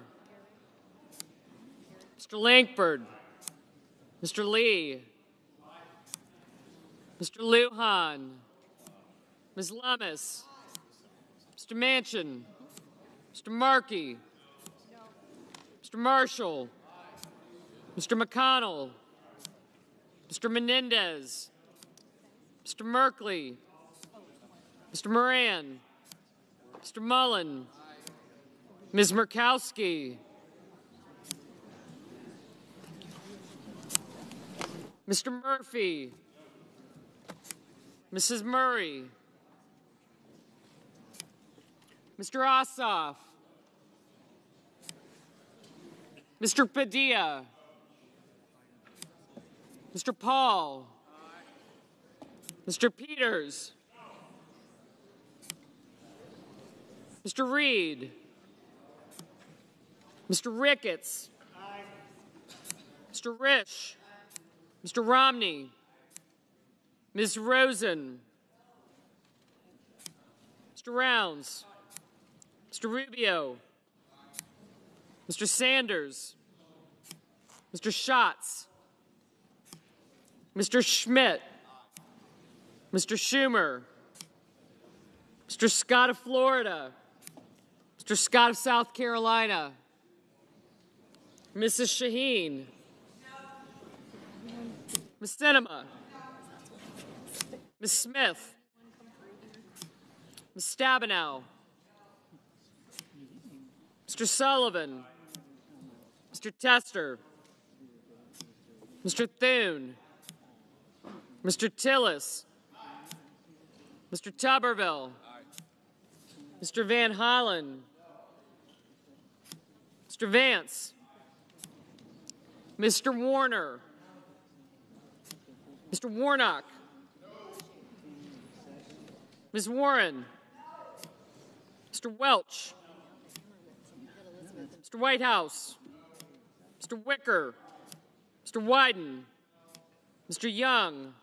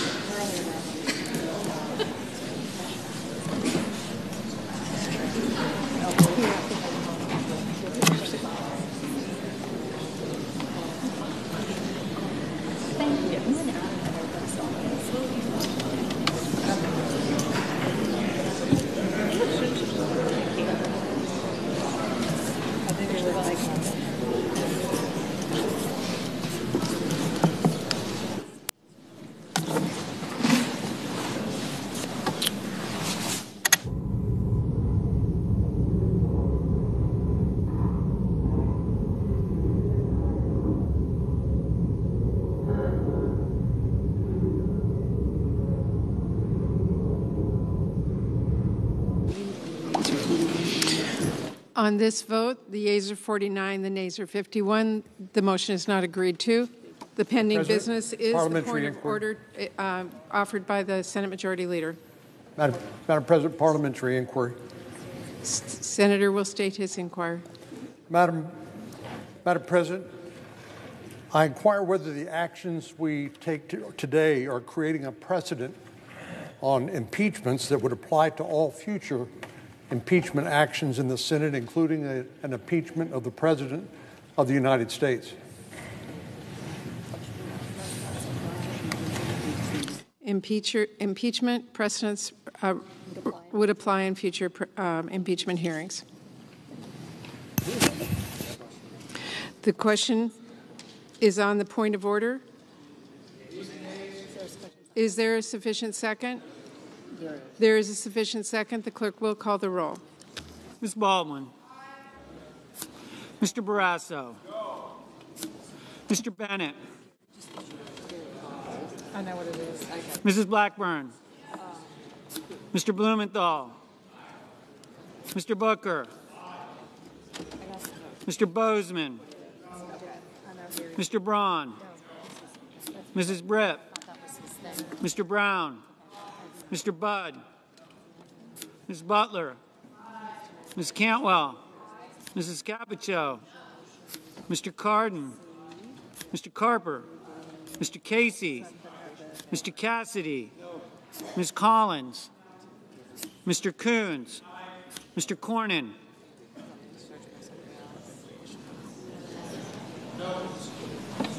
Ms. Cortez Masto.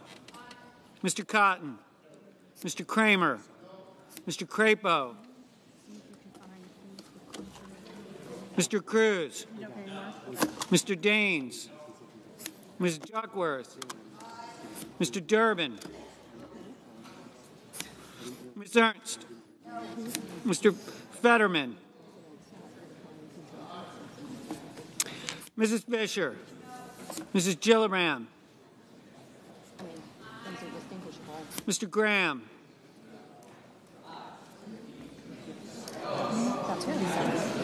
Mr. Grassley.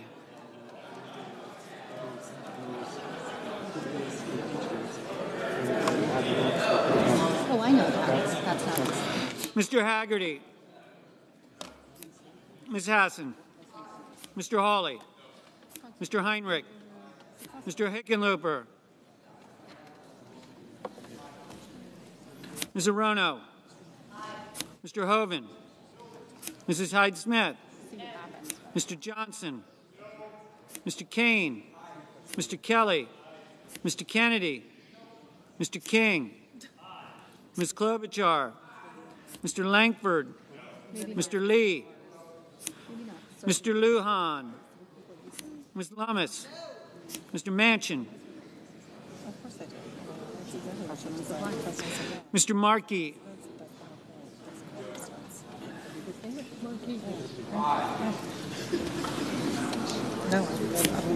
Mr. Marshall, Mr. McConnell,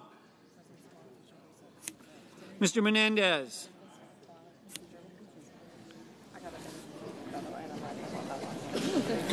Mr. Merkley, Mr. Moran, Mr. Mullen, Ms. Murkowski, Mr. Murphy, Mrs. Murray, Mr. Ossoff, Mr. Padilla, Mr. Paul, Mr. Peters, Mr. Reed, Mr. Ricketts, Mr. Risch, Mr. Romney, Ms. Rosen, Mr. Rounds, Mr. Rubio, Mr. Sanders, Mr. Schatz, Mr. Schmitt, Mr. Schumer,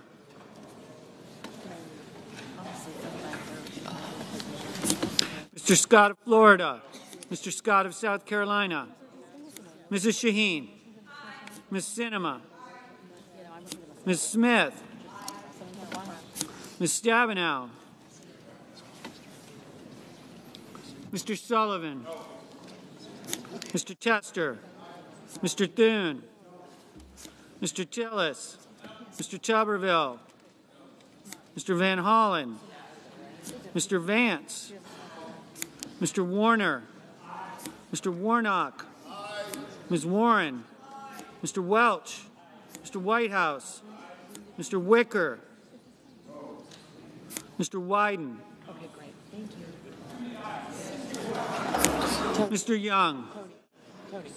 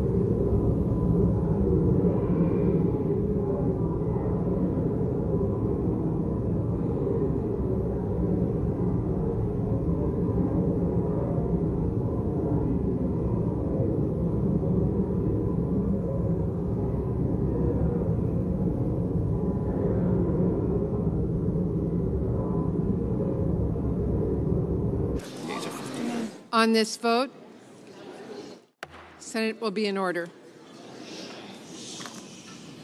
On this vote, the yeas are 51, the nays are 49. The point of order is well taken. Article, Article 2 falls. Madam President, Majority leaders recognized. I move to adjourn the impeachment trial of Alejandro N. Mayorkas, sine die, and I ask for the yeas and nays. Is there a sufficient second? There is. There is a sufficient second. Clerk will call the roll. Ms. Baldwin. Mr. Barrasso. Mr. Bennet. Did he say aye? Mrs. Blackburn. Mr. Blumenthal. Mr. Booker. Mr. Boozman. Mr. Braun. Mrs. Britt. Mr. Brown. Mr. Budd. Ms. Butler. Ms. Cantwell. Mrs. Capito.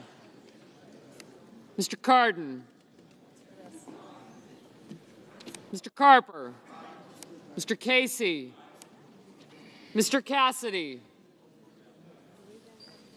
Ms. Collins.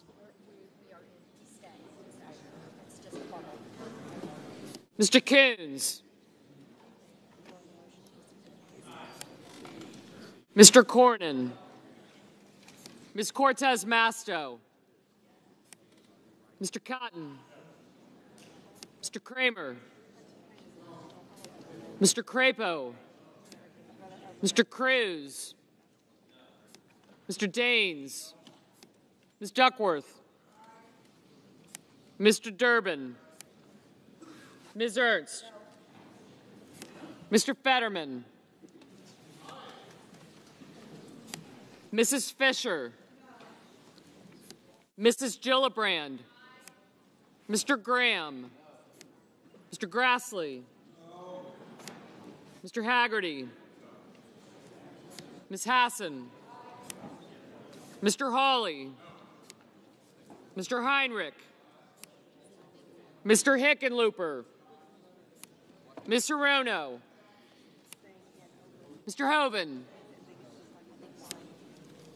Mrs. Hyde Smith. Mr. Johnson. Mr. Kaine. Mr. Kelly. Mr. Kennedy. Mr. King. Ms. Klobuchar. Mr. Lankford. Mr. Lee. Mr. Lujan. Mr. Lummis. Ms. Lummis. Mr. Manchin. Mr. Markey. Mr. Marshall. Mr. McConnell.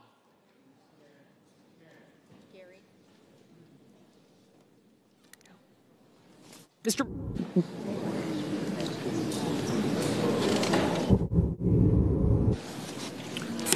Mr. Menendez. Mr. Merkley. Mr. Moran. Mr. Mullen.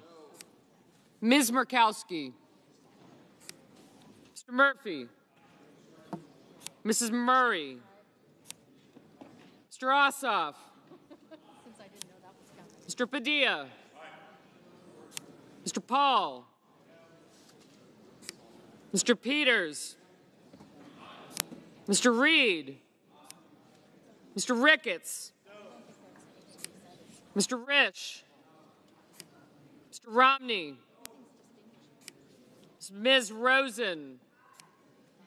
Mr. Rounds. Mr. Rubio. Mr. Sanders. Mr. Schatz. Mr. Schmitt. Mr. Schumer. Mr. Scott of Florida. Mr. Scott of South Carolina. Mrs. Shaheen. Ms. Sinema. Ms. Smith. Ms. Stabenow. Mr. Sullivan. Mr. Tester. Mr. Thune. Mr. Tillis. Mr. Tuberville. Mr. Van Hollen. Mr. Vance. Mr. Warner. Mr. Warnock. Ms. Warren. Mr. Welch. Mr. Whitehouse. Mr. Wicker. Mr. Wyden. Mr. Young.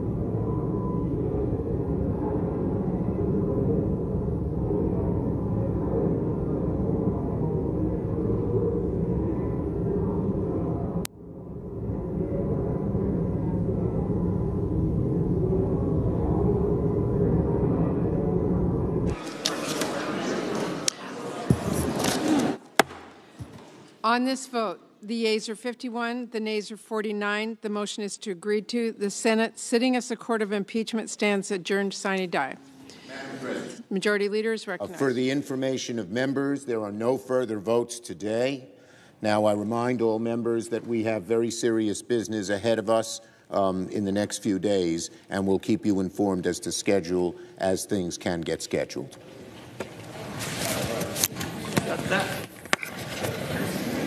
Republican Leader is recognized.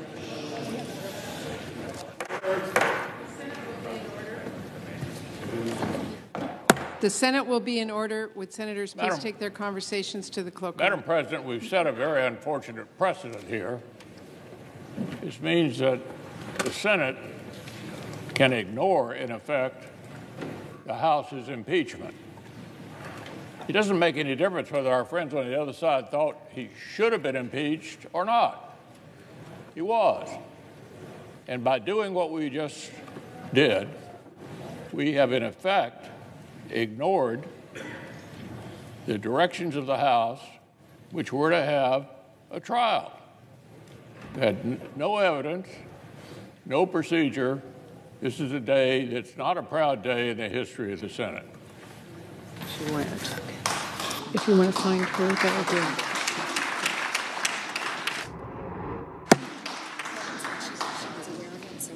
Madam President. Uh, Senator from Utah is recognized. Madam President, I ask unanimous consent to enter into a colloquy with my Republican colleagues. Without objection, so ordered. Madam President, Senator from Utah would hold. We do not have order in the Senate. I would ask all senators who are, to take their conversations to the cloakroom as well as the staff. The senator would just hold till we have order, please. Senator from Utah is recognized. Thank you, Madam President. What we've witnessed today is truly historic. This has never occurred. Nothing like this has ever occurred. You know, under Article 1, Section 3, Clause 6, we've been given a duty. We've been given this the sole exclusive power to try all impeachments. Try all impeachments, not some of them, not just those with which we have happened to agree, not just those that we are happy that the House of Representatives undertook to prosecute, but all. The word try is also significant. It refers to the word trial. It's the same word. It's a proceeding in which the law and the facts are presented to finders of fact in front of judges in order to reach an ultimate disposition. In a criminal proceeding, it would be a, an ultimate disposition culminating in a verdict of guilty or not guilty. We were precluded from doing that job today, and we were precluded from doing so in a way that is not only ahistoric and unprecedented, but also counter constitutional. Uh, nothing could be further from the plain structure, text, and history of the Constitution than that. So let's look at the arguments that we would have heard, that we could have heard, that we should have heard today, had things unfolded as they were supposed to. Had things unfolded in a manner consistent with the oath that we took, first when we were sworn in as United States Senators, we're, we're all required to take the same oath to the Constitution when we did that, but also the oath that we took just a few hours ago in this very chamber, in this very case, to decide this case impartially. What would we have heard? Well, first and foremost, regardless of what you think about what a trial consists of or how different people might cleverly define the term, a trial will always, at a minimum, involve lawyers involve lawyers. And unless the person is proceeding pro se, you will always have lawyers there. At least one side will always be represented by lawyers, and in 99.9% of all cases, both sides will. You will hear from lawyers. We didn't hear that today. We didn't hear from the committee of individuals appointed by the House of Representatives to be the, the House impeachment managers or prosecutors. What else would you expect to hear? Well, you'd, you'd hear uh, evidence. Evidence would be brought in. Sometimes trials in the Senate involve bringing in evidence uh, in a documentary form. Other times you might have witnesses. We didn't have any witnesses, we didn't have any documentary evidence other than that which was charged. So let's talk about what was charged and what evidence we could have, would have, and should have heard had we done our job today. Well, the, the accusations in this impeachment trial can be fit into two categories. Category one is found in Article 1 of the Articles of Impeachment. Article 1 alleges that Secretary Mayorkas repeatedly, defiantly did the exact opposite of what federal law requires, namely, that under myriad circumstances, eight or nine different statutory provisions that he violated, he was required to detain people whom he did not detain. But it's not just that he didn't do what the law required, he did the exact opposite of that. Instead of holding them until such time as they could be removed or alternatively adjudicated to have the status, whether under uh, impeach, uh, whether in the context of immigration parole or asylum or otherwise. He just released them, and in many cases gave them work permits. We would have heard evidence about the fact that memoranda issued by Secretary Mayorkas within the Department of Homeland Security didn't just tolerate this result, they instructed this result. We would have heard evidence about the fact that at the outset of the Biden administration, Secretary Mayorkas, when asked what he would tell those traveling through the caravans, those paying many thousands of dollars per head, in some cases tens of thousands of dollars per head, to international drug cartels, Instead of telling them, don't do it, he said, maybe don't do it yet. Give us a few weeks before we're ready to receive you. Showing intention, a to facilitate the violation of federal law. We would have heard evidence about how he instructed his own department to violate those rules. We would have heard evidence about how directly contrary to federal law those things are and contrary to his own oath in his own duties. Now, as to Article 1, the Senate chose to dispose of this today by doing something it's never done in any context anywhere close to this, with a point of order that said as follows The majority leader stood up, defiantly refusing to have the Senate perform its obligations and raised the following point of order. He said, I raise a point of order that impeachment Article 1 does not allege conduct that rises to the level of a high crime or misdemeanor as required under Article 2, Section 4 of the United States Constitution is therefore unconstitutional. All right, let's, uh, let's talk about that for a minute. Now, had, had we been permitted to have a trial, alternatively, had we been permitted to go into executive session, alternatively, had we been permitted to go into closed session, as several of us moved today, we would have been able to hear arguments about this, about how wrong this is, because that's what you do when you have a trial. You hear evidence, you hear arguments from lawyers, and when someone makes a legal argument, as Majority Leader Schumer just did, you can consider their implications, and most importantly, consider whether or not the argument is right.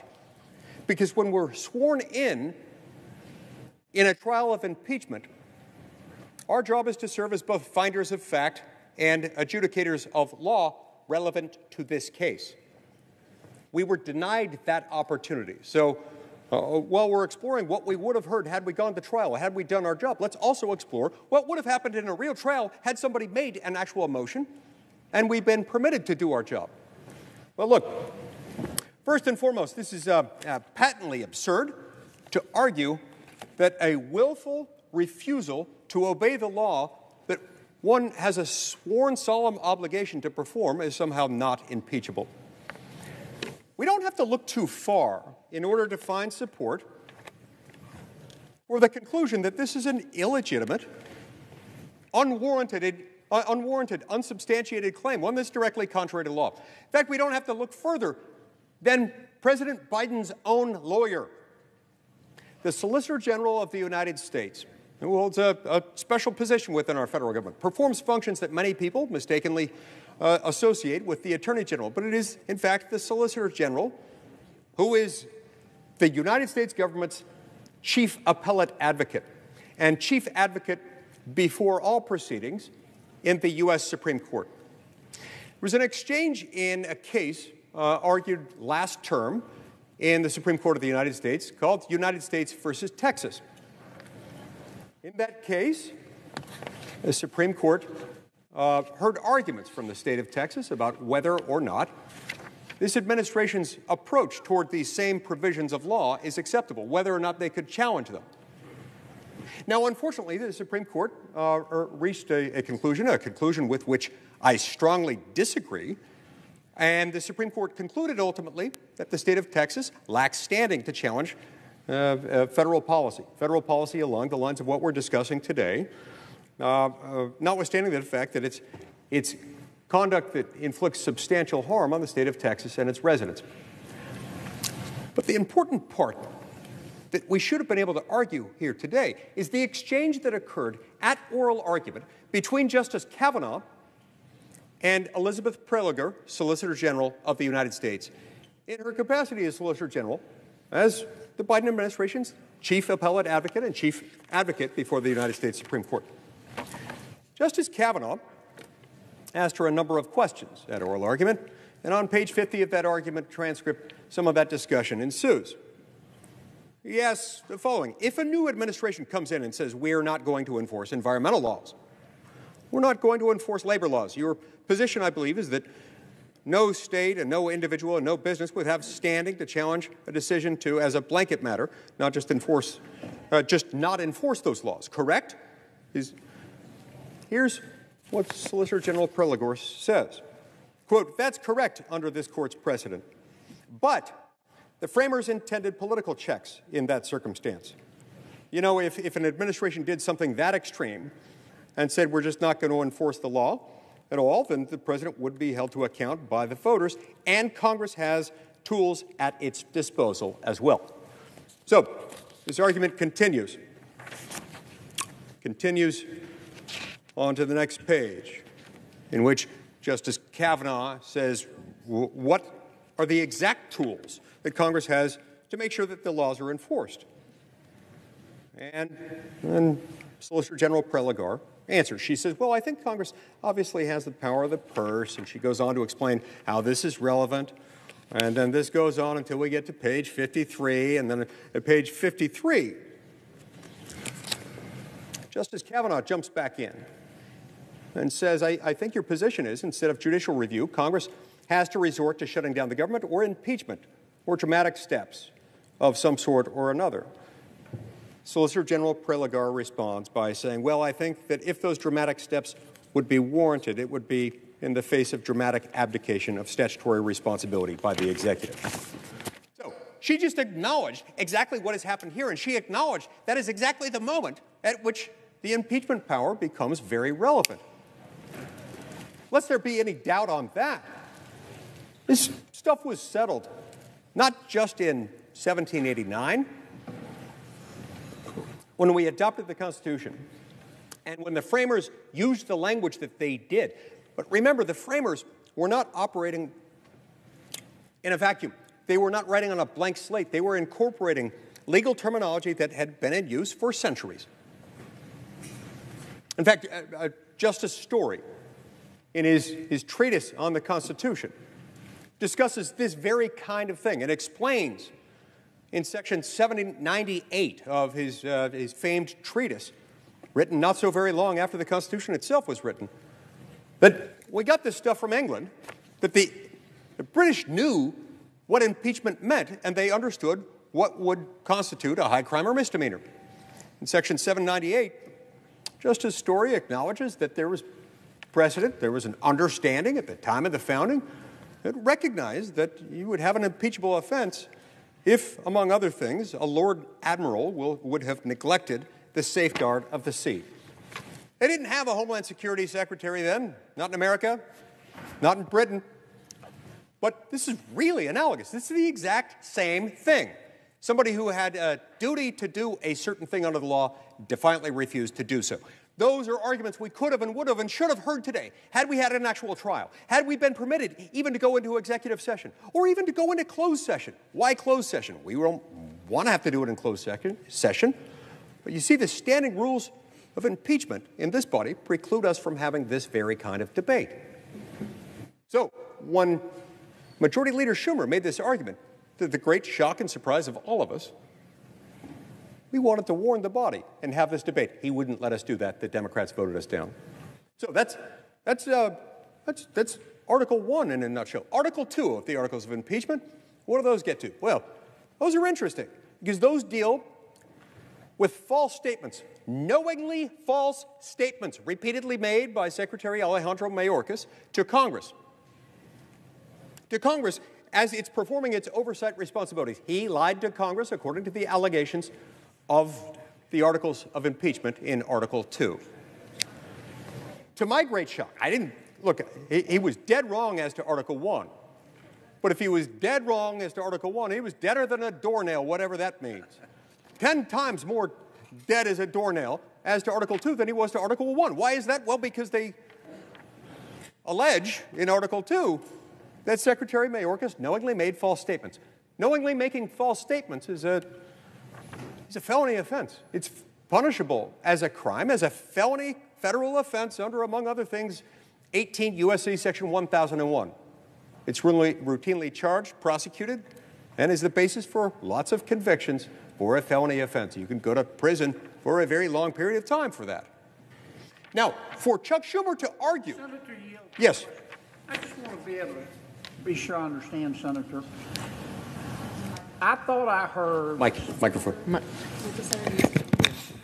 I'm, Madam President, um, I asked uh, Senator Lee if he would yield to a question. Uh, I thought I heard Senator Schumer argue today that lying to the United States Congress was not a high crime or misdemeanor, and therefore could not be the basis for uh, an article of impeachment. Did, did, did I hear that correct? Correctly? That is exactly what he said. That is exactly what he said when he made this motion, because he stood up and he said, I raise a, a point of order that impeachment Article 2 does not allege conduct that rises to the level of a high crime or misdemeanor. So, even though lying to the United States Congress is a felony, under the precedent that the majority leader and our Democratic colleagues established, it's not a high crime or misdemeanor? Is that what we did? That is precisely what the precedent established today stands for. That is, we've effectively, by this vote that the Democrats forced through, not even allowing us to debate this, and this is why I raised a point of order on, or this is why I, I made a motion that we go into closed session to discuss this, because we've now set a precedent that effectively, very arguably effectively, immunizes from impeachment, making a false statement to Congress. Can I, may I ask one more? Uh, yes. Senator? Yes, please. Well, I'm trying to follow the, the Senate Majority Leader's logic. What do you have to do to get impeached now? I mean, a felony is not sufficient. What's above a felony? Well, let's see. Obviously, uh, uh, spreading what they deem misinformation uh, on the internet might be a felony. Uh, I, I, I, suppose at some point. But, uh, but, it, but, but it takes, as I understand it, Senator, you're a legal scholar, it takes more than a felony now. A high crime or misdemeanor. Yeah, I mean, it, it takes more who's than a high on crime first? or misdemeanor. What's on second? I, I don't understand any of this, and I'm very, very worried and would like your thoughts or, or others' thoughts about the precedent that our Democratic colleagues, in their haste to sweep this under the rug, may have established. Yep. Will the gentleman from Louisiana yield for an adjunct question With to pleasure. his question? With pleasure. So the law says that lying to Congress is a felony. Since we're no longer using impeachment as a means to address someone who's lying to Congress, how does Congress prosecute or address someone who deliberately lies to Congress now that the Senate has swept away through this presidential action today the opportunity to use impeachment for that purpose. Thank you. Yeah, and I'd love to respond to that point briefly, if I could. The, what we've done is to effectively immunize this uh, against impeachability. Immunize making false statements. And, and going back to the original question, I don't know, maybe aggravated first degree murder with uh, heinous, atrocious, and cruel conduct as aggravators. Maybe that's still a high crime or misdemeanor. That, that, that remains to be seen. But keep in mind, particularly with the, the, the, fact that they already set aside Article 1, and they've already said that that's out of bounds as well for impeachability. The Supreme Court has said pretty much nobody has standing to address that. What are we left with? And uh, getting, getting back to the, uh, to the question from Senator Lummis, this is a phenomenally dangerous precedent to have set here specifically with regard to the false statements. Because what does that do to our oversight hearings, where we, we rely routinely on testimony provided under oath by cabinet secretaries and other administration officials? What does that do? What incentive structure does that create? What perverse incentives does that create for them to lie? Uh, with this, Senator Gill? Yes. Uh, are you aware, here's a question, are you aware of the fact that President Clinton was impeached? And one of the charges against him was lying under oath in a civil lawsuit. Are you aware of that? Yes. Okay, so you can be impeached for lying under oath in a civil lawsuit, but apparently you can't be impeached for lying to Congress about how you do your job. So here's what I, will give Senator Schumer the benefit of the doubt, Senator Kennedy. He's saying that the fact pattern here apparently doesn't rise to the level of high crime or misdemeanor that, that we don't have a situation, it's a policy disagreement. We've taken a policy disagreement in the House and tried to turn it into impeachment. Well, here's a question for you, uh, Senator Lee. Are you aware of the fact that two days ago, two days ago, uh, Secretary Mayorkas was asked about the parole of the man alleged to kill, to have killed Laken Riley, Mr. Ibarra. why was he paroled and how, how he was paroled?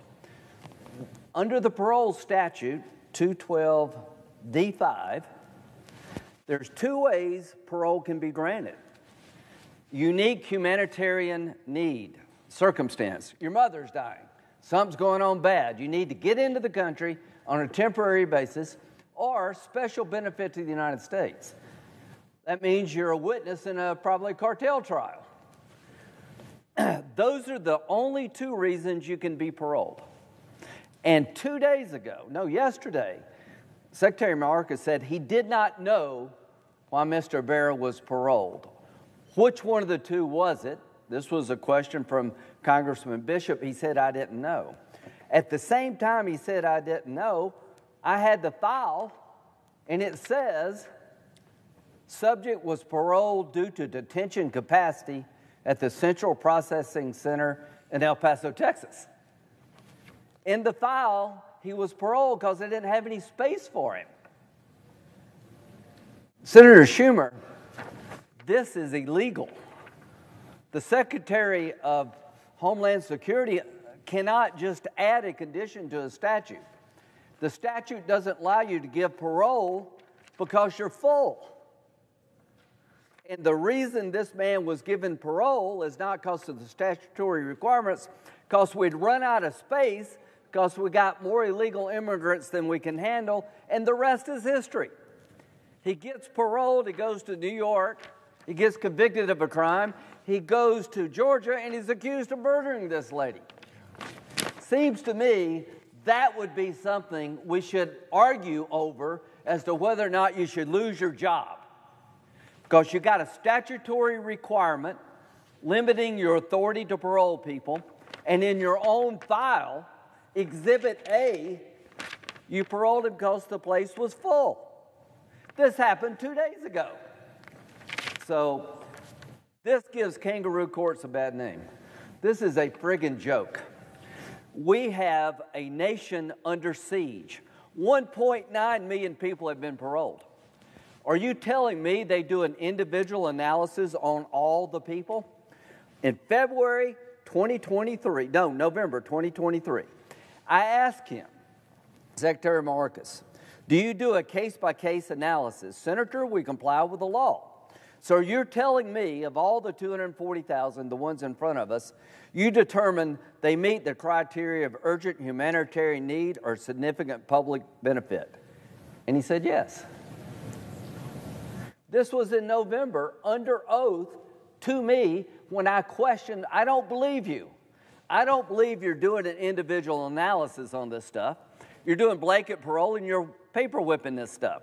It turns out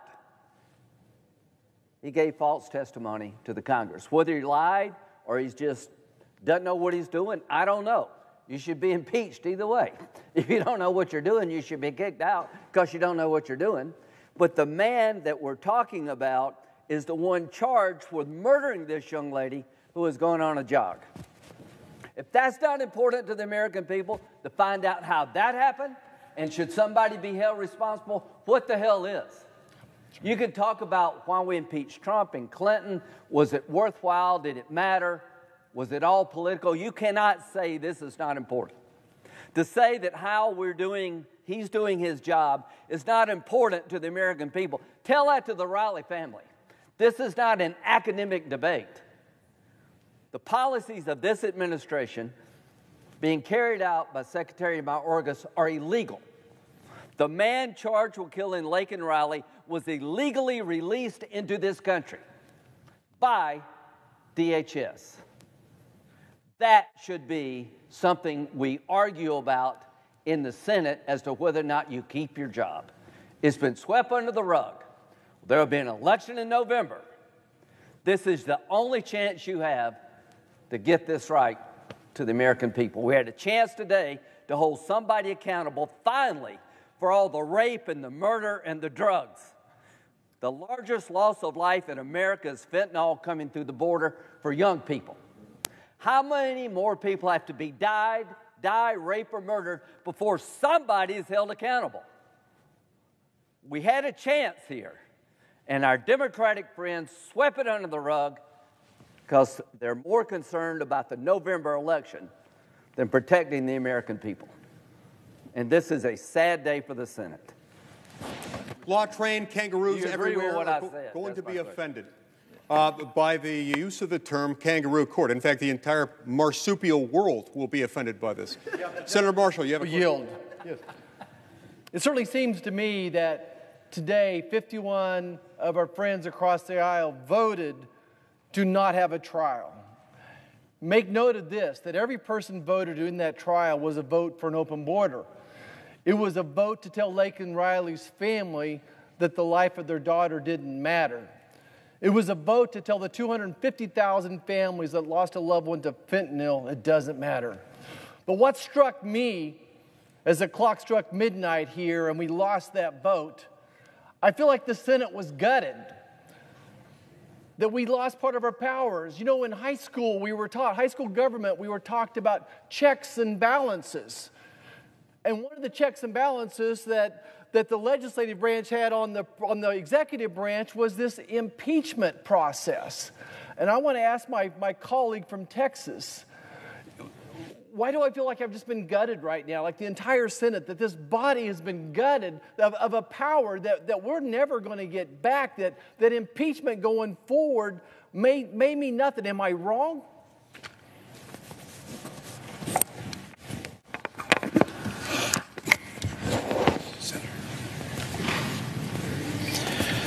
I'm sorry to say that my friend from Kansas is not wrong. In the 237 years of our nation's history, I don't know that there has been a more shameful day in the United States Senate than today. What we just witnessed was a travesty. It was a travesty to the United States Constitution, and it was a travesty to the American people.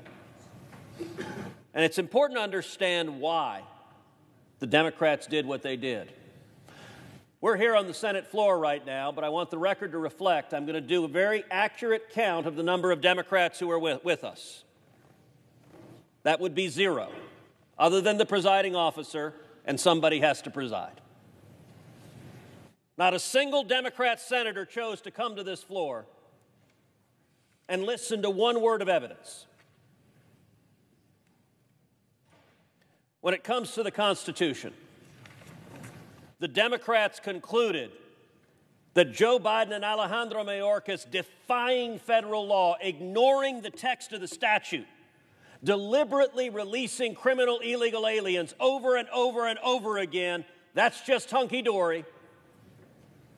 You can't impeach him for that. Every Democrat just voted. By the way, every cabinet member, guess what? You've just been given a blank slate. Ignore the law. When Democrats are in charge of the Senate, the entire cabinet could ignore the law. It is no longer impeachable. In Democrat Wonderland, when a member of the executive branch openly defies the law. By the way, every Democrat just voted that way. They didn't hear one word of argument. The majority leader didn't stand up and say, here's the reason why it's okay. No, he didn't present that argument. They didn't read a brief. Nobody wrote a brief. They didn't care enough to know what Senator Lee just laid out that the Biden Department of Justice went in front of the U.S. Supreme Court and said if the executive defies the law, the answer is impeachment. The willingness of every Democrat to be blatantly hypocritical. Just last year, the Biden Justice Department said, no, no, no, no, you can't sue in court when we, the Biden administration, defy the law, the answer is impeachment. In like three card monte. Every Senate Democrat said, no, no, no, no, the answer is not impeachment. I don't know what it is.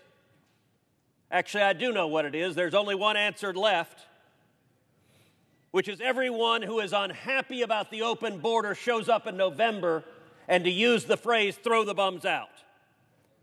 Because if you're not willing to do your job, is there not one senator on that side of the aisle who cares enough to honor the Constitution? By the way, the second article they threw out said lying to Congress is not a high crime or misdemeanor, it's not impeachable.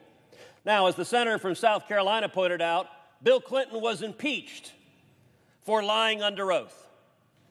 And you know what happened? And he was ultimately acquitted. But after a full trial where they heard the evidence, where the Senate did its job, by the way, one of the impeachment managers was Senator Graham, who presented that evidence right here on this floor. And you know what? Before Bill Clinton, there's a guy named Walter Nixon. You may not know who Walter Nixon is. Walter Nixon was a federal judge who was convicted of perjury. He was from Mississippi. He was convicted of perjury in front of a grand jury. And he was impeached and it went to the Senate, and the Senate convicted him and removed him from the bench. So, you want to know what the precedents were prior to today? You commit a crime, lying under oath, perjury, it is a high crime or misdemeanor that is impeachable. No more. Because understand the Democrats' rule here. This is all about, this is not about the Constitution. None of them care. By the way, we repeatedly moved. Let's go into debate. Hear the other side of the argument. Nope. Look, the famous three monkeys hear no evil, see no evil, speak no evil. That's just evil, what they did. They don't want to know because they don't care, because it's not about the Constitution, it's not about the law, it is about political expediency. But every bit as violent as what they did to the Constitution was, it's even more offensive what they did to the American people. Last year, 853 migrants died crossing illegally into this country. That's almost three a day. You go down to the southern border, you go down to Texas, with the Democrats don't bother to do because they don't care about the people dying. And you see photograph after photograph that Texas farmers and ranchers are finding of dead bodies on their property. Many of my colleagues here have been down there with me, have seen the elderly people the human traffickers have abandoned, have seen the pregnant women the human traffickers have abandoned, have seen the infants and toddlers left to die. The Senate Democrats just told the American people they don't give a damn about the bodies and the people who have died the last three and a half years, and they don't give a damn about the people that are going to die next week. Next week, more migrants are going to die. When we brought 19 senators down, to the border. We went out on a boat in the Rio Grande. We saw a man floating dead in the water. Senator Lee was there. Senator Kennedy was there. He had died that day. The Democrats just told the American people they don't care. When you go down to the border and you look at the children who've been brutalized, just about all of us here are parents. I will tell you, when you look in the eyes of a little girl or a little boy who's been abused by traffickers, and you see it, you see the pain, you see the agony of children trapped in sex trafficking. The Democrats just said they don't care. They won't hear the evidence, they don't care that it's deliberate, and they don't care that it'll happen next week, that it'll happen tomorrow. Tomorrow there will be children brutalized because of the Democrats' open border policies, and not a one of them cares. They don't care about the women who are repeatedly sexually assaulted. Again, when you look in the eyes of these women coming over, it's heartbreaking. And the Democrats just said, We don't care. And they don't care about the more than 100,000 Americans that died last year from drug overdoses. The highest in our nation's history. 70% of that is from Chinese fentanyl coming across our southern border. And the Democrats said, We don't want to hear about it. We're not interested in the Americans dying. You know what they also don't care about? They don't care about the criminals that are being released day after day after day. The Biden administration is releasing murderers and rapists and child molesters, and every week we see another story of somebody being killed, somebody being raped, another child being assaulted by illegal immigrants released by Alejandro Mayorkas and Joe Biden. How shocking is it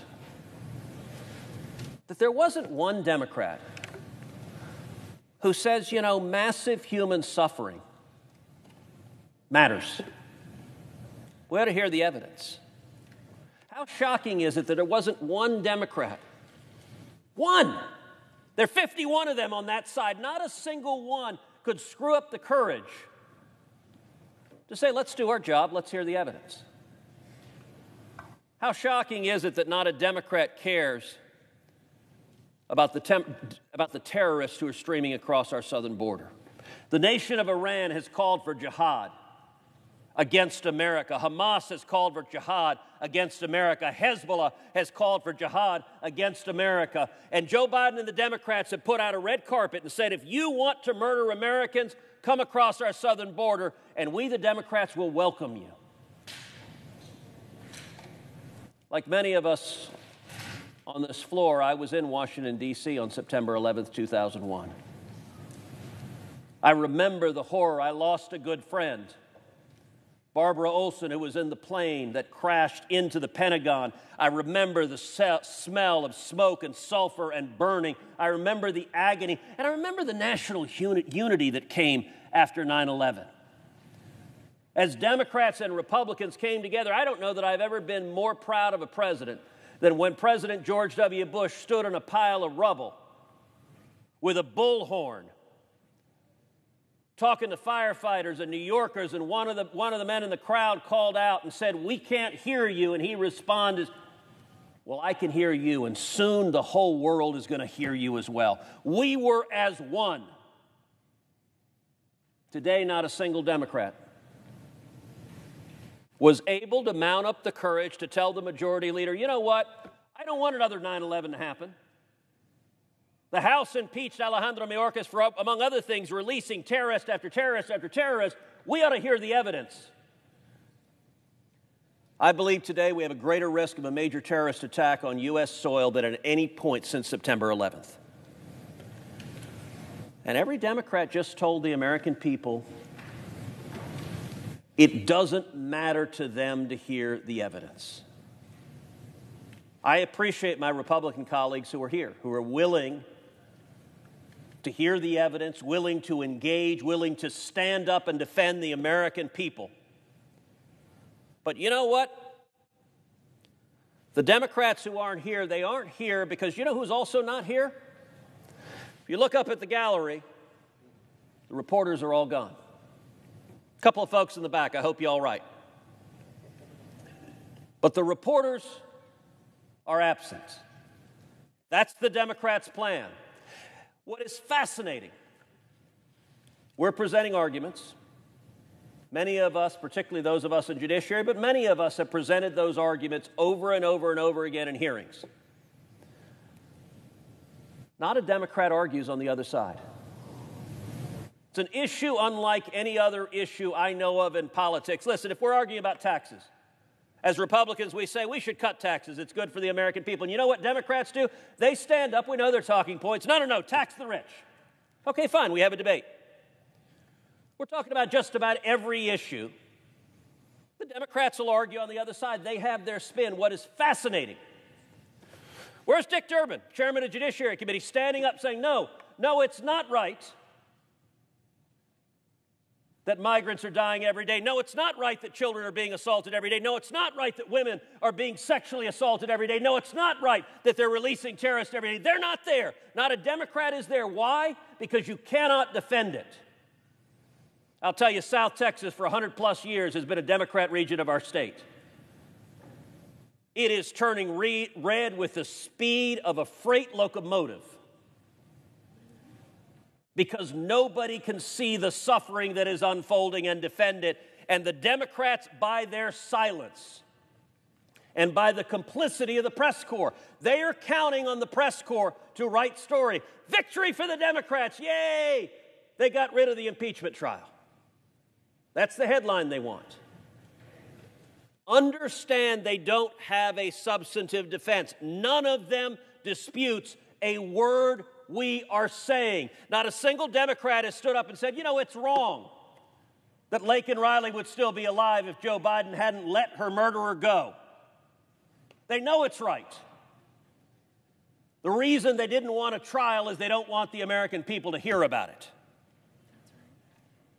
And it's our obligation to make sure the American people do. Senator Ricketts is the former governor of Nebraska. I'd love to get your perspective on this. Thank you very much. Uh, appreciate the colleague from Utah organizing this. My, my, my. What have our majority leader and the Democrats in the Senate wrought? They have overturned 227 years of precedents that my colleagues have talked about. 21 previous impeachments, all scheduled for trial. 17 came to trial, and the ones that did not because the person who was to be impeached was either expelled or dismissed prior to the trial. To my colleague from Texas's point about the media being complicit, one of the headlines in Politico that I was told about said the trial lasted only three hours. There was no trial. There was no trial. The majority leader decided that he could determine what was unconstitutional and get every single one of his Democrats along partisan lines to vote for it. Said it was unconstitutional. Did not rise to the level of high crimes and misdemeanors. Let me briefly examine that. Article 1, sent over to us by the House. I'm just going to read the title Willful and systematic, or system uh, systematic refusal to comply with the law. That's Article 1. Let me tell you about complying with the law. Prior to this administration, the Trump administration had brought illegal crossings down to a 45 year low. What we have seen since then is an explosion of illegal crossings. Over 1.7 in the first year of the Biden administration, nearly 2.4 in the second, nearly 2.5 in the third. Now, if you count all the people who've tried to cross the border illegal or have crossed the border, including the gotaways, it's 9.4 million people, larger than the population of New York City. 300,000 in just December alone. That is larger than our capital city, Nebraska, Lincoln. The evidence is right there that we're not doing a good job at the southern border. And why would that be? Well, because Alejandro Mayorkas is complicit in not following the law. In a memorandum Mayorkas sent to immigration and customs enforcement officials in 2021, he said, and I'm going to quote here The fact an individual is a removable non citizen, notice he doesn't even say illegal alien, which is what it says in the law. He says the fact that an individual is a removable non citizen, therefore, should not alone be the basis for an enforcement action against them. Basically, saying just because you broke the law doesn't mean we have to enforce the law. That right there should tell you he is willfully disregarding the law. Absolutely. Or how about the case of parole? Where the law says that it's only supposed to be used on a case by case basis. In situations where the person has an extreme humanitarian need or it's in the best interest of our country. Under the Biden or under the Obama and the Trump administrations, it was used an average of 5,600 times. Paroled 5,600 foreigners in this country between the Obama and Trump administrations on an annual basis. Last year alone, Mayorkas paroled into this country 1.2 million for whole classes of people. A clear abuse of the law.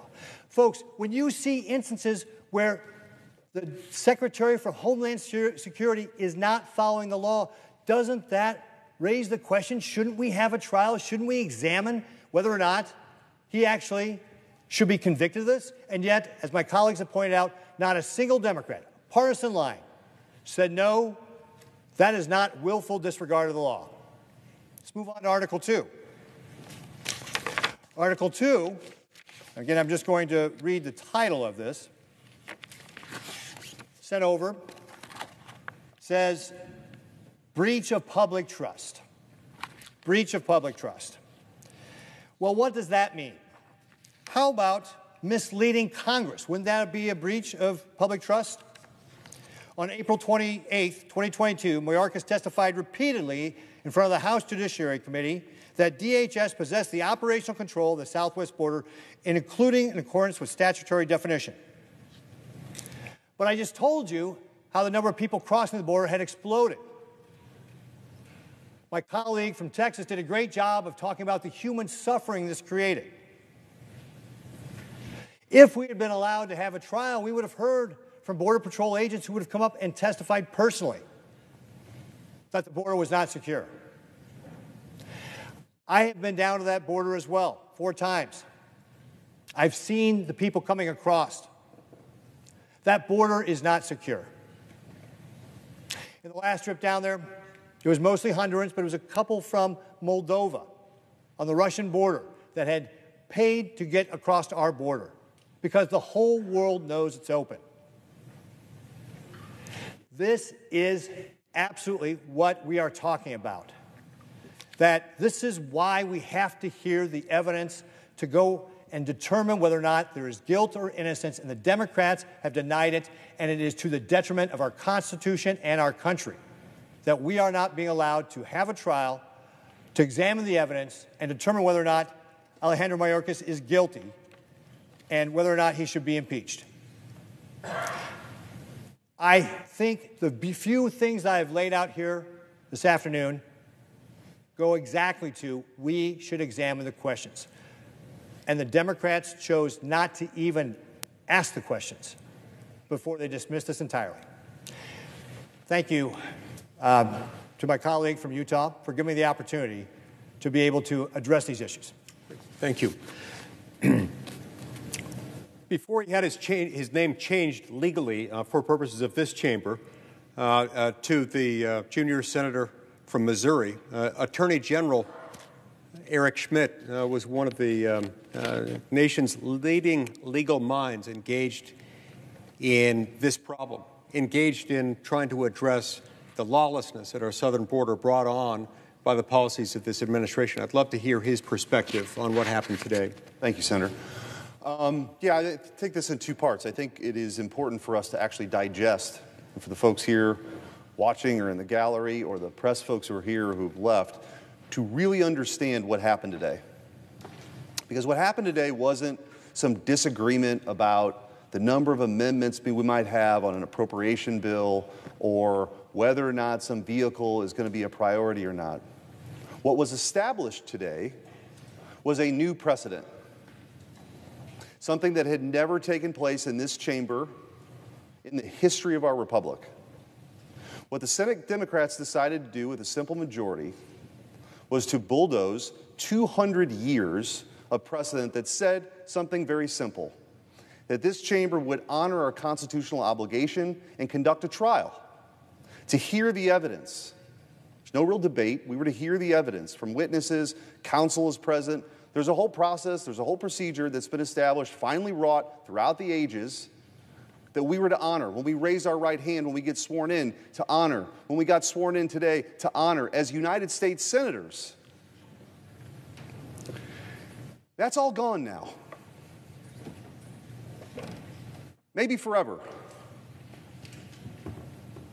I don't see a circumstance now. You heard the parliamentary inquiries asking if a precedent had ever been established for this or that. A hundred years from now, when somebody else has Harry Truman's desk, if I remember to carve my name in it before I die, will have this desk. I don't know that person's name. I don't know their background or what their life experience will be. But what they'll know what happened today. They'll know that the, that the United States Senate under Chuck Schumer, who will go down as one of the worst U.S. senators in American history because of his actions today, will know that we just blew off an important duty conduct a trial. It wasn't, you know, an idea, and to paraphrase my friend from Louisiana, it wasn't some, you know, gamer bro with a tweet. These were articles of impeachment voted on by the people's representative, representatives in the House of Representatives, walked over here and delivered. And so, Chuck Schumer and the Democrats who voted for that, they're going to have to own that. And to paraphrase um, something the, the senator from Kentucky said just a few years ago, I think they're going to regret it. And I think they're going to regret it sooner than they think.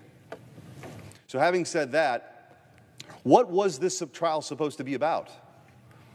And as Senator, the senator from Utah mentioned, when I was Attorney General in Missouri, we brought the first lawsuit against the Biden administration for um, their actions at the southern border. When they decided to undo remain in Mexico, we were successful for a while. But what came out of that um, was a lot of what you might have read in, the, in, in Article 1 um, of the impeachment that were brought over. A lot of those were from, um, a lot of those uh, arguments were from that case. Um, and as an interesting little side note, when we won, when we had an injunction in place actually for the Biden administration to keep this very important protection in place, they ignored it. We had to go back in front of a judge time and time again to get them to uh, abide by the law. But what we have found out from this administration, and Secretary Mayorkas specifically, is they is willing, he himself is willing to subvert the law, to believe that he is above the law, to lie and to commit a felony that this chamber now has said doesn't rise to the level of a high crime and misdemeanor forever. That is the precedent forever. So the human toll of this lawlessness at the border that has been overseen by Secretary Mayorkas is devastating. Thousands of people die every month for fentanyl abuses or overdoses. We have a ticking time bomb in this country with the national security threat. We don't know who 2 million people are. 9 million people have come here illegally. Most of them have been told, have been told please show up for a court date sometime in the 2030s. That's not going to happen. But 2 million of them, we don't know who they are, we don't know where they're from, we don't know where they're at. We're seeing a record number of Chinese nationals come across just in California alone. People from all across the world coming here because they know our border is wide open, and it's not by accident. And whatever the motivations are, Secretary Mayorkas' memo and instruction to his employees to ignore the law. The, the immigration law in this country, the, the, the snapshot is if somebody comes here illegally, they're detained, they're deported, unless some adjudication exists, like asylum claim is processed. Nine out of 10 of those are bogus. That had been the law of our country, the law of the land, for a very long time among Republican and Democrat administrations. No longer. Because Secretary Mayorkas decided to, to instruct his employees to subvert that law. If you want to change it, come here. If you want to change a shall to a may, that's what we're supposed to do. That's what the Article 1 branch is supposed to do. Just like the Article 1 branch here in the Senate is supposed to hold people accountable who are in high positions of government. It is our remedy. And as the back and forth in that United States versus Texas and Missouri case from, from Justice Kavanaugh to the Solicitor General of the United States indicated, what is the remedy here? And the Department of Justice own lawyer said, well, they have the remedy of impeachment, but I guess we don't actually have that anymore. And so I know that in these 24, 24 hour news cycles, things move on quickly. Tomorrow we're going to be on, you know, FISA, there's national security stuff, and it'll be easy to sort of, I think, for many, to sort of wipe today away. But it won't go away. It's a stain on this institution. It diminishes this body. It is why I stood up to object to a ridiculous idea that somehow we're supposed to negotiate away our constitutional duty. That isn't up for grabs. That's our job. Oh, thank you, Senator Schumer, for giving us a half hour to talk about this. No thanks. Not for me. Now, would I do that on some amendment to an approach bill? Probably not. But when Senator Schumer wants to set our constitutional order on fire, I will stand up and I will object. And I know many other people share that point of view. There is no structure to the arson you're committing. So I appreciate the inquiry or the this back and forth we're having with the senator from Utah because sadly, this is all we're left with. So many powers of individual senators have been given away over the years. This institution is no longer the world's greatest deliberative body. It's kabuki theater.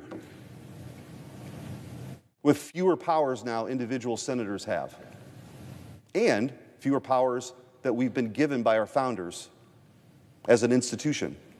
For what? For what? A couple of bad days, a couple of news cycles? Congratulations. Con- congratulations, Chuck Schumer. You're going to own that. And every single Democrat that voted for it will too. So the border crisis isn't going away. It still exists. The Senate lost an opportunity here, to hear evidence to hold someone accountable today. Thank you, Senator. Thank you. Uh, excellent remarks. There are some days that one wishes one could live over. This is a day that will live in infamy and a day that uh, future generations will wish had gone differently. We've got a friend and colleague. Our friend and colleague, the senior senator from Wisconsin, has many titles in the Senate, titles of distinction. He is the prince of plastics, the maven of manufacturing, the connoisseur of cheese curds. Uh, he is also, uh, among other things, someone who's identified himself as uh, the chancellor of charts, showing the profound depth of our border security crisis. He's been working on this ever since he first became the chairman of the Homeland Security Committee back in 2015.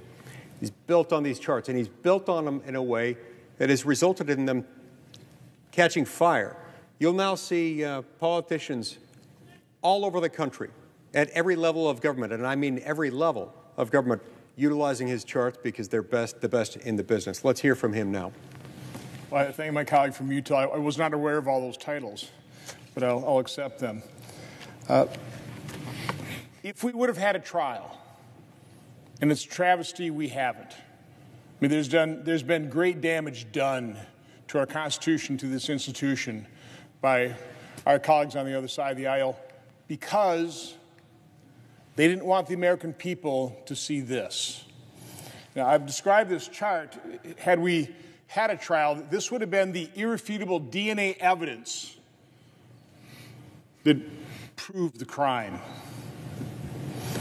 There's no way you can take a look at the history of illegal entry in this country and not recognize that what has happened, what has happened under the Biden administration, under Secretary Mayorkas, is nothing less than a utter catastrophe.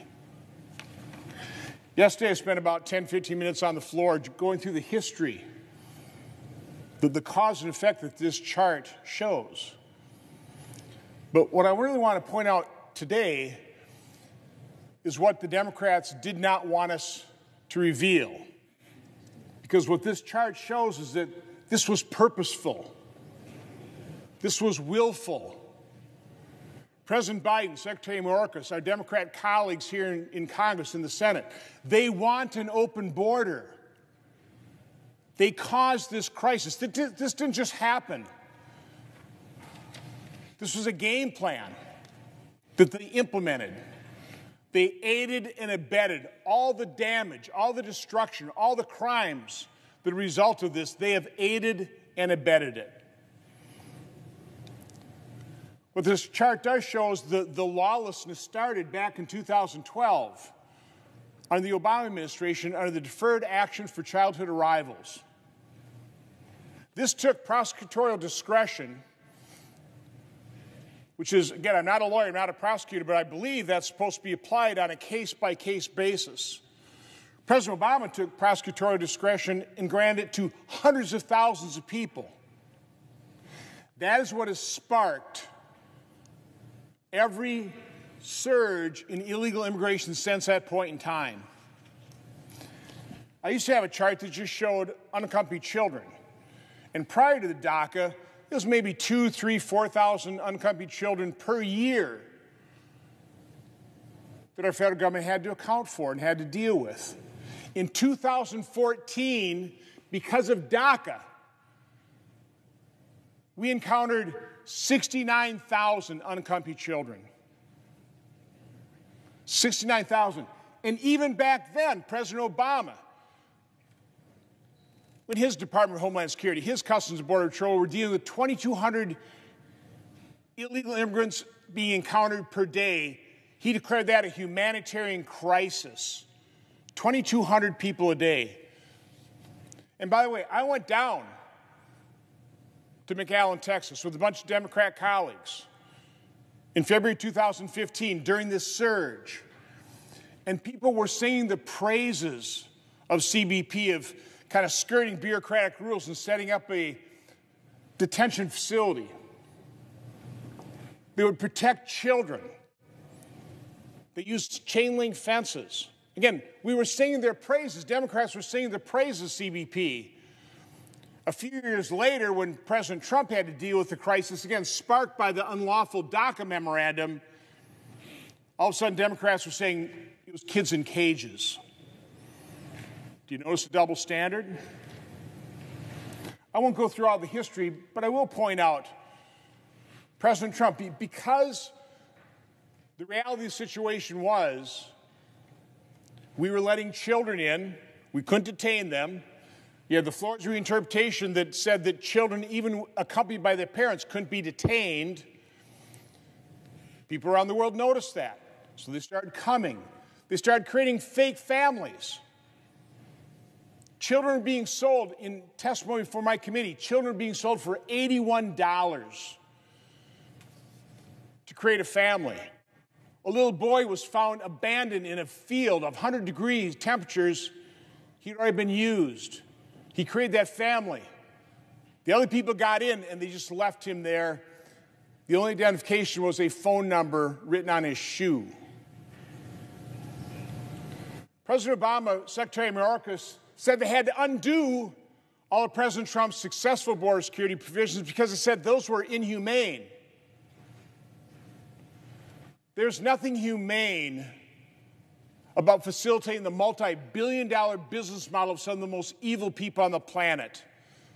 the human traffickers, the sex traffickers, the drug traffickers.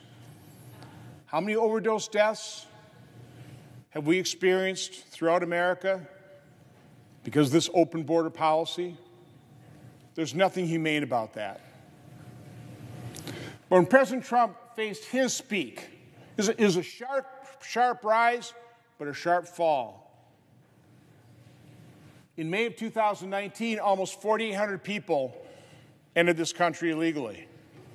But President Trump did something about it. He used what the Supreme Court said in the 2018 decision, our existing law, that exuded deference to the president.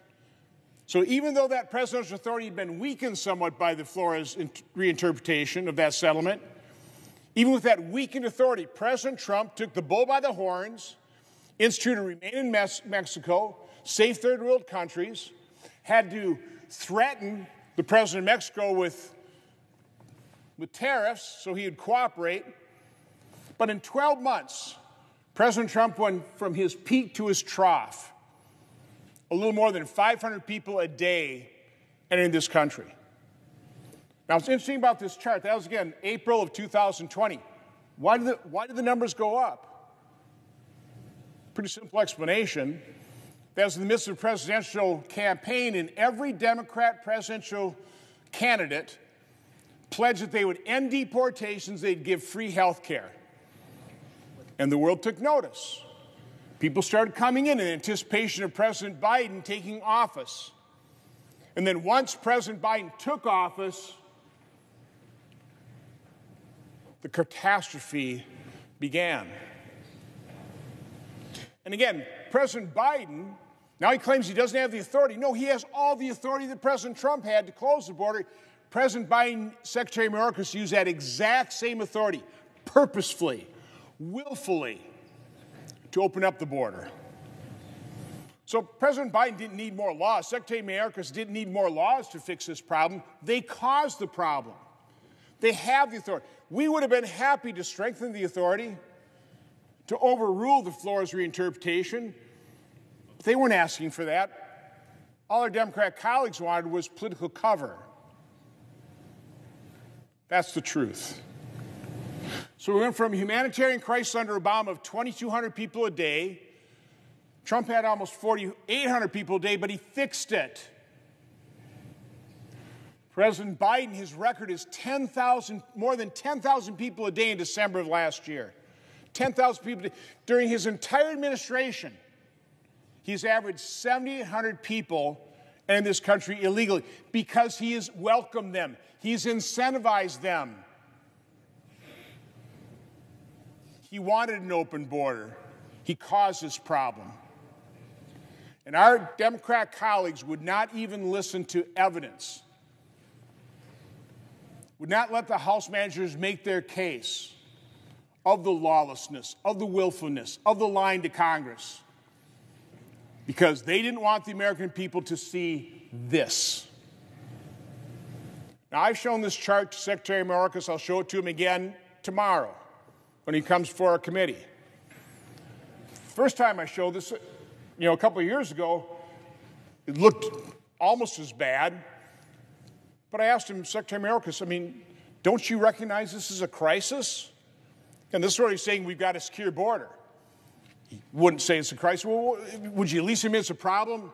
No, Senator, it's a challenge. Now, I would view that as a lie. I would have liked to have heard the evidence presented by the House managers of other instances where Secretary Mayorkas lied to Congress, which, again, as I thought was definitely pointed out by senator from Louisiana. Isn't that a felony? And doesn't impeachment only have to be a misdemeanor? Again, so there's, there's so much wrong in what our Democrat colleagues did today by just summarily, cavalierly dismissing these charges. It's going to come back to haunt our country. But my final point will be this disaster, it's on a chart. It's numbers, they're colors. But the real disaster is with the individuals who've lost their lives, who've lost loved ones. the children who have been raped, who've been caught in the crossfire of the gang wars. That's the real challenge, or that's the real catastrophe. That's the real problem. The Democrats just today swept under the rug. It's a travesty. It shouldn't have happened. But we'll continue to prosecute this case right up until November. Grateful for those insights that we've had from our friend and colleague, the distinguished senior senator from Wisconsin. You know, when the senior senator from Alabama uh, joined the United States Senate, uh, it was a pleasure to get to know him. It has uh, been a pleasure to work with him ever since then. In fact, I visited our southern border within a few months after he arrived here. And I noticed in him uh, uh, distinct concern not only for the welfare of the residents of the state of Alabama and uh, all other Americans, but also a genuine concern for those who have been human trafficked into our country by the drug cartels, with the tacit acquiescence and even the affirmative blessing of this administration. I, for one, am glad that Senator Tuberville was not the head coach at the University of Miami when their football team played BYU in the late summer of 1990. Had he been, that game might have turned out differently. But I'd love to get his thoughts on this matter. It was it was a pretty good game, by the way. It was a very good game. Thank indeed. you. Thank you for my colleague from uh, Utah. You know, I, I I'm kind of amazed what's happened today. Uh, it's been categorized several ways, whether it's kangaroo court or three ring circus or organized grab ass. I don't know how you look at it, to be honest with you. Uh, it is amazing what we've sat here and watched.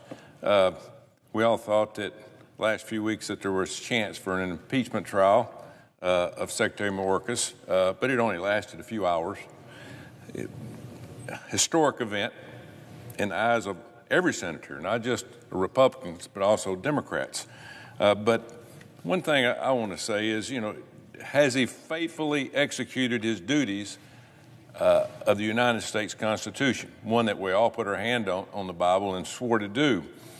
Uh, but it was amazing to me how this all went down at the end of the day. And it really wasn't Secretary Mayorkas's, uh, he wasn't the only one on trial today, uh, or would have gone on trial, impeachment trial. It would have been every Democrat.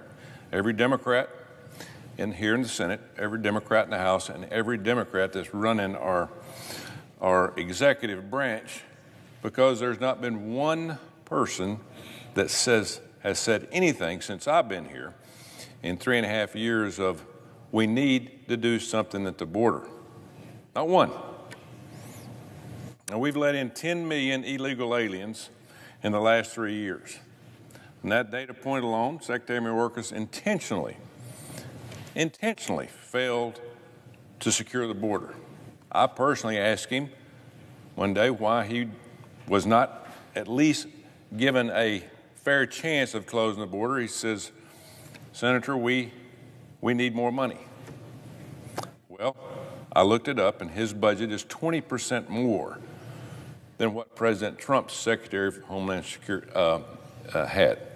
20%. So, his job is Homeland Security. That's his entire job. Senator Schumer and all the Democrats could have, they could have conducted this impeachment trial today, and it would have never seen the light of day after the trial because we would have not had the votes on our side to impeach Secretary Mayorkas. So instead, the impeachment process is over. The media will stop covering in a few days. We'll be going back to throwing millions of taxpayer dollars at blue states so they can manage the surge of illegal aliens going to the blue cities all over the country. Just last week, the Department of Homeland Security awarded another $300 million to cities in support of illegal aliens. Today, the city of Denver announced that they would shift $8 million from their law enforcement to taking care of illegal aliens.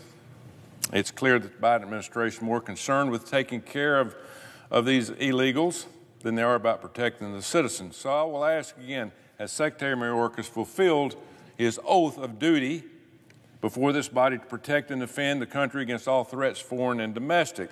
Is our border secure? The answer is simple. He has not, and it is not. Mayorkas has been derelict in his duty. Derelict. Confrontational in his duty to all of us when we've asked him personally what he is doing at the southern border. In voting against his impeachment, our Democrat colleagues are they're basically lying to themselves. They're risking the lives of Americans. Senator Schumer and the Democrats can't say that they want to fix the border while trying to save his job. Americans are dying at the hands every day of what's going on from our southern border. Every, every state's a border state now. It's just not Texas, it's not Arizona, California. Every state. My state of Alabama is being overrun with illegal aliens. The number of people crossing the border who are not on the terrorist watch, who are on the terrorist watch list is unprecedented. That's what scares me. You listen to our FBI director, he says, We have a major threat to our country. And he said, It is coming. But it doesn't seem like anybody's listening. Nobody's listening that's in charge. Just last week, it was reported that an Afghan on the FBI terror watch list has been in the U.S. for almost a year. He's a member of, the, of a U.S. designated terrorist group responsible for the deaths of at least nine American soldiers and civilians in Afghanistan. Nine. ICE arrested him in San Antonio just last year in February. Unfortunately, this known terrorist has been released on bond and is now roaming the neighborhoods in the United States of America. It isn't just terrorists, it's, always, you know, it's also fentanyl. We've had 100,000 people a year die in the last three years. Last time I looked, that's 300,000 people. It is a crime what's going on. Law enforcement officers in Alabama tell me that they had never heard the word fentanyl until three years ago. Not heard the word. It was heroin, it was cocaine, it was meth. Now it is almost 100% fentanyl, just in the last three years. That's a pretty good coincidence. In February, last, uh, this past year, uh, Secretary Mayorkas traveled to Austria to speak with Chinese officials about counter narcotics efforts. Now, he traveled to Austria to do that. He discussed with them the flood of Chinese. Did he, did he discuss the Chinese flood of people coming to our country? 22,000 Chinese illegals have come into our country just in the last five months. Most of these individuals are adult males. And I wonder where we get the idea that there might be a big problem coming to America soon. Yet the media tries to act like all the people that's coming here from China and all these other countries are, you know, uh, great people. Some of them probably are, but most probably are not. They're coming here for different reasons. This is not a border crisis, it's turned into a huge invasion. It's a national security problem and we're having it more and more each day. So I just want to say this we have not done, done our duty here today. We have failed the American people. My phone rings constantly about protecting the sanctity, sanctity of not just Alabama, but everybody in this country from what's happening at the southern border. Nothing good is happening because of what's happened from Secretary Mayorkas to the people that have opened these borders, again, not just southern, but also northern border. That is getting worse and worse. So we failed the American people today. Why? I don't know that we don't do our job. We had a Republican majority when I first got here three years ago. We brought the President of United States in an impeachment trial, and he was a Republican. And what, we put him on trial in this very room. This is all politics. We broke something today that has never been done in the history of this in the history of this school. I mean, excuse me, school. I'm, I'm used to getting on people when, when their phones ring in the classroom when I was coaching, but it's never happened before. Now we've set a precedent, and unfortunately, it will be, be a precedent probably that will be broken many times. How is this body ever going to be able to hold anybody accountable to anything that they've done wrong? here in the federal government. Uh, thank you, Coach. Another one of our colleagues who's been a longtime advocate of secure borders, who's tireless in her advocacy, uh, is our friend and colleague, the senior senator from the state of Tennessee. I'd love to get her thoughts on what happened today. Uh, Thank you so much to the senator from Utah for organizing this. You know, Madam President, I think it is so important for the American people to really understand what did happen here today. And what we saw happen here today is a violation of our oath. The oath that we take that we are going to abide by the Constitution. Now, those who are watching this, and I would encourage all of my colleagues among us to pull out that Constitution and read Article 1, Section 2, which lays out the process of impeachment for the House of Representatives. And then Section 3 of that Constitution lays out the duty of the Senate in that Constitution. Now, I have a poster up here from 2019. It is Chuck Schumer. This was during the Trump impeachment in 2019. Now, Chuck Schumer, who's currently the majority leader, basically made a full time job of talking about how the Senate had to do their constitutional duty to hold a trial. That's all he talked about for days. The clips are all over the internet. One thing he repeatedly said we have a responsibility to let the facts come out. A responsibility. Now, we have to say what has changed between 2019 2020, and today? Well, of course, we know what changed for Chuck Schumer because he's desperate to hold on to the majority in this House. And he did not want some of the senators who are highly contested in their races to have to take a vote on the Mayorkas impeachment. Why is that, Madam President? It is because the number one issue with the American people is that open southern border. And who is it that has regularly lied to this chamber, to the House, and to the American people about what's going on at the southern border? It is Secretary Alejandro Mayorkas repeatedly lied, repeatedly stood before the American people, stood before us in hearings and committees and said, the border is secure. Anyone who is watching, anyone who's ever been to that border, knows the border is not secure.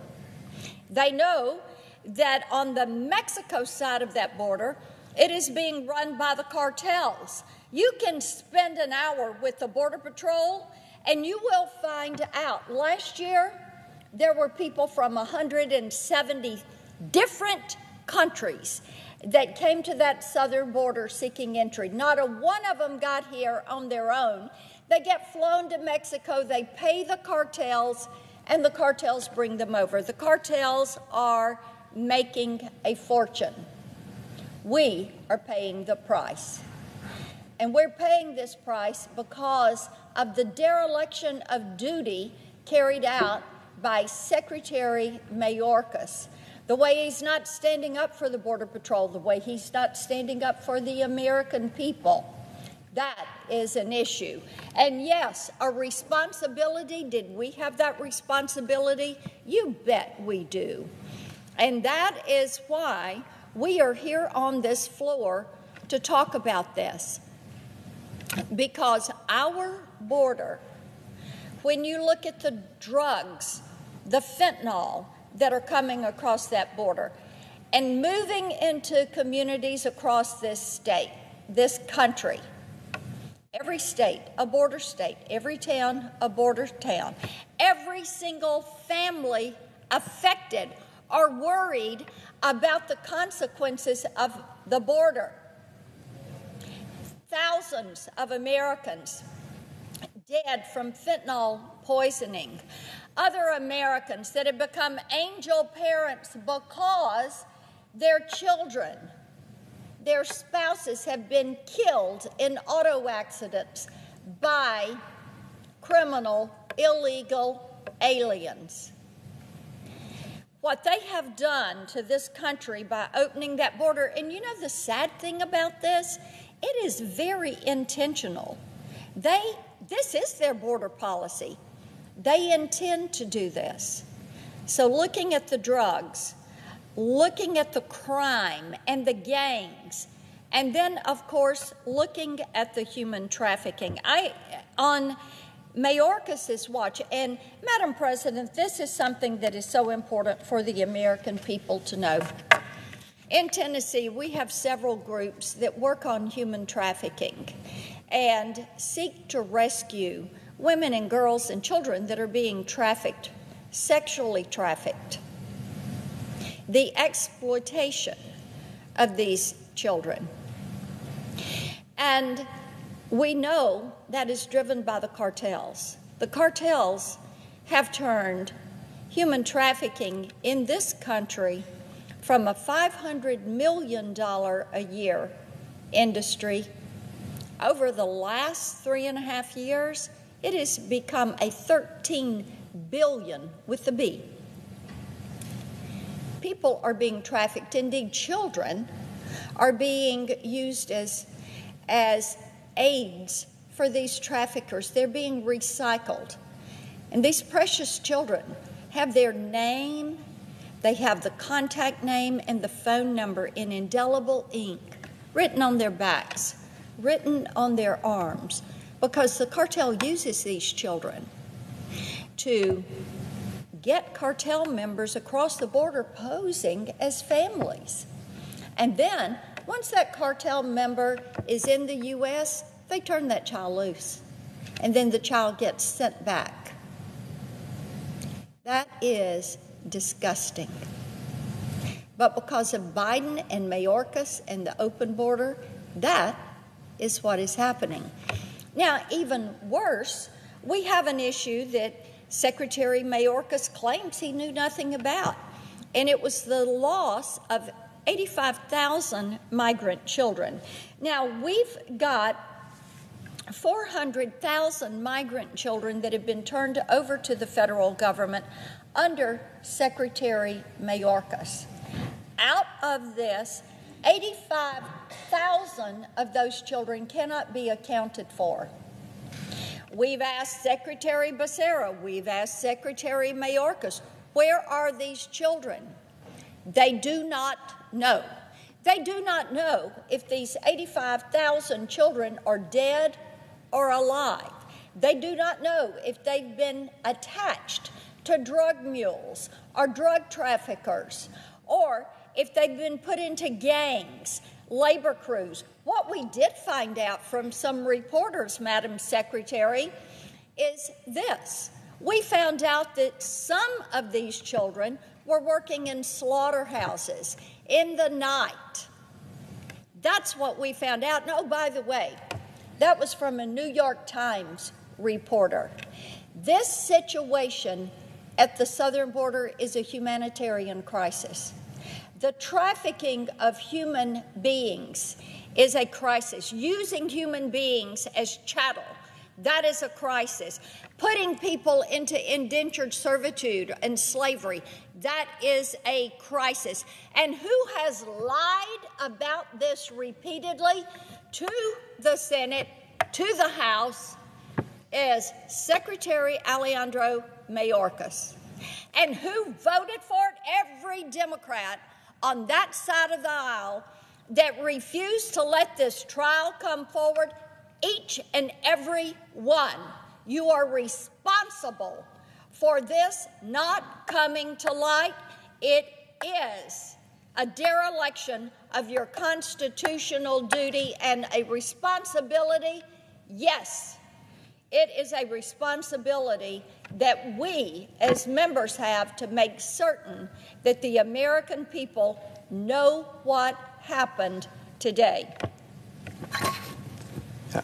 Thank you, Senator Blackburn. Another uh, great mind uh, we've all benefited from in the Senate is um, our friend and colleague, this, the um, junior senator from Florida. Before he became the senator from Florida, Senator Scott was previously Governor Scott, a governor of one of the most heavily populated states in America. Uh, and prior to that, he's, uh, he's famous in the business world, personally employing hundreds of thousands of people. So the Department of Homeland Security is, a, is an enormous organization. Nobody understands how best to run an enormous organization to do so with uh, exceptional skill, uh, better than Senator Scott. And nobody understands better than him. Now, the, the buck stops with the person running that organization. We'd love to hear from him now. Well, I think I want to thank my colleague from, um, from Utah for his, um, his commitment to the rule of law, his commitment to the Constitution, um, all of his efforts today, and every day he's been up here to make sure that the Senate follows the Constitution, um, doesn't set precedents that don't make any sense, and today is a horrible day. So I also want to thank my colleague from uh, Wisconsin for being such a, a, voice on making sure that the public actually knows what's going on here. Um, the information he puts out, the charts he uses, um, the information he has gives everybody an, an idea what's actually going on. So, but unfortunately, today, Democrats' assault on American dem- democracy had a banner day. Uh, Democrats in the Senate say, said that impeachments by the United States House of Rep- Representatives don't matter anymore. You have to have a trial, they don't matter. According to what Democrats uh, did today, we don't need to hold impeachment trials here in the Senate ever. This is a horrible precedent. It's not what the Constitution envisioned. It doesn't matter if, for example, you're a cabinet secretary and that you've instructed your agency to ignore the law and not execute the laws of the United States. It doesn't matter if by order an agency to ignore the laws of the United States, Americans are murdered. They are. They have been. It doesn't matter if by order an agency to ignore the laws of the United States, deadly fentanyl pours into our communities and poisons our children and our grandchildren. It doesn't matter if by order an agency ignore the laws of the United States, terrorists on the FBI terrorist watch list, and migrants with known gang affiliations stream into our country to such an extent that the FBI director testified sitting right next to Secretary Mayorkas before Congress that this is the most dangerous time in America since 9 11. Just stop and think about it for your family for a second. Think about either your mom or your dad, your spouse, your brother or your sister, a child or a grandchild, niece or nephew. Just think of one of them. Just pick one of them. You cherish, you love them. You can think of wonderful things about them. Now, for thousands of American families, that person that you're thinking about today is dead. Say it again. For thousands of American families, the person that you're thinking about today is dead. They've been taken too soon by the deadly fentanyl crisis that have ravaged our nation because of the wide open southern border. Look, every one of us, every one of us knows some family that has been ripped apart by the deadly fentanyl crisis. Everybody does. Some of us have been impacted directly. Fentanyl is killing 70,000 people a year. Now, that's 70,000 families that are torn apart because we have an open southern border. This is happening in part because instead of letting our brave Border Patrol do their job and stop these deadly drugs, Secretary Mayorkas intentionally is using them to let even more people illegally cross the border and come to our country and get all sorts of nice services. They get phones, they get lawyers, they get hotel rooms, all paid for by the U.S. taxpayer. Every victim of Secretary Mayorkas' order for his agency has a name. Everybody's got. I mean, think about, just think about that family member. I've heard a lot of heart, heartbreaking stories from people at my house, or at my home, my home state. Florida families are feeling the impact of this administration's lawless border crisis every single day. Deadly fentanyl, criminals, terrorists, human traffickers. They pour across Biden's open border. This is all intentional. There are 1,145 children between 14 and 18 years old who died from fentanyl in 2021. So that's like having a classroom of kids die every week. Every week. In 2022, I heard from a mom in Kissimmee, just outside Orlando, where her son was in the Air Force, and he had a bright future in the Air Force. He came home to surprise her on Mother's Day weekend. He unfortunately visited an old friend who he didn't know had been uh, dealing drugs. The, the friend convinced the young man to take a Xanax, which was unknowingly laced with fentanyl. The mom, the mom found him dead. Came home to just surprise her for her birthday. He's dead. Put yourself in position that mom. What, you, what is she thinking about today? What is she thinking about when she watches the Senate floor and every Democrat says the guy that made the decision to open the southern border will not be held accountable?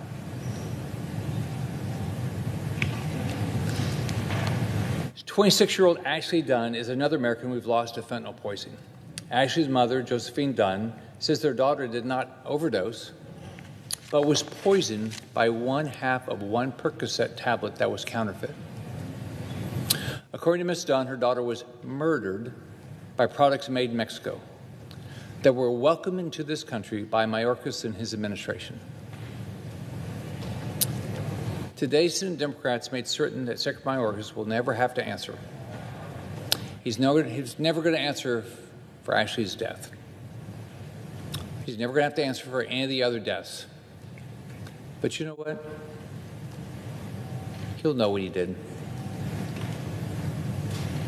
People know too much what he did. He'll never, ever, he'll never get away with this. America is a more dangerous place because Mayorkas and Biden have allowed criminals, drugs, terrorists, and other dangerous people into our communities all over the country. Real Americans with families are being killed. Real American families are being torn apart by vicious crimes and deadly drugs because we have, wide, we have a wide open southern border. If you go to the southern border, on the other side, they have IDs everywhere because they don't want the people, Border Patrol that meets them on our side, to know who they are. Why would you do that? Secretary Mayorkas is the first and only sitting cabinet secretary to be impeached. He will always be known as the first sitting cabinet secretary to be impeached. And now, he's forever going to be blocked from being acquitted of that charge. How that makes him feel. He will never get that chance to be acquitted because of what the Senate Democrats did today. I still have a question for my Senate Dem- colleagues. Did you silence Mayorkas today because Democrats are terrified of his record and unable to defend him? Or just because they don't trust him? Whatever the answer is, the thing that every reporter here and every American needs to understand is this Democrats put politics over the safety of American families and the security of our great nation today. I fear the consequences of that unprecedented failure will be devastating beyond our worst fears. I think it's going to take decades to rid the criminals from this country. And in the meantime, how many people like Ashley are going to lose their life? How many people are going to be raped? How many people are going to put in, be put into slavery? Yeah, I hope to God it doesn't happen to your family. Thank you. Grateful uh, comments that have been made by, by so many colleagues today in this colloquy and for the insights that they've shared. Each comes from a different state, bringing a, a different set of perspectives to the table, a different set of political and professional perspectives that help them shed light on this important issue and provide insights and warnings about the rather grave implications that we so cavalierly overlooked today. We, meaning the Senate as a whole. With 49 of us trying to stand in the way and raise a word of warning about what we're doing and what implications that might have for the future. Warning signs are everywhere. And tragically, um, we've seen just in uh, the last few days with news breaking in recent hours the consequences of our open borders policy can touch all of us.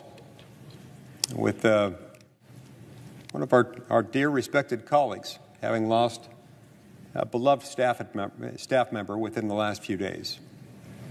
Having lost that staff member as a consequence of the actions taken by an immigrant in this country who was here unlawfully, who shouldn't have been here.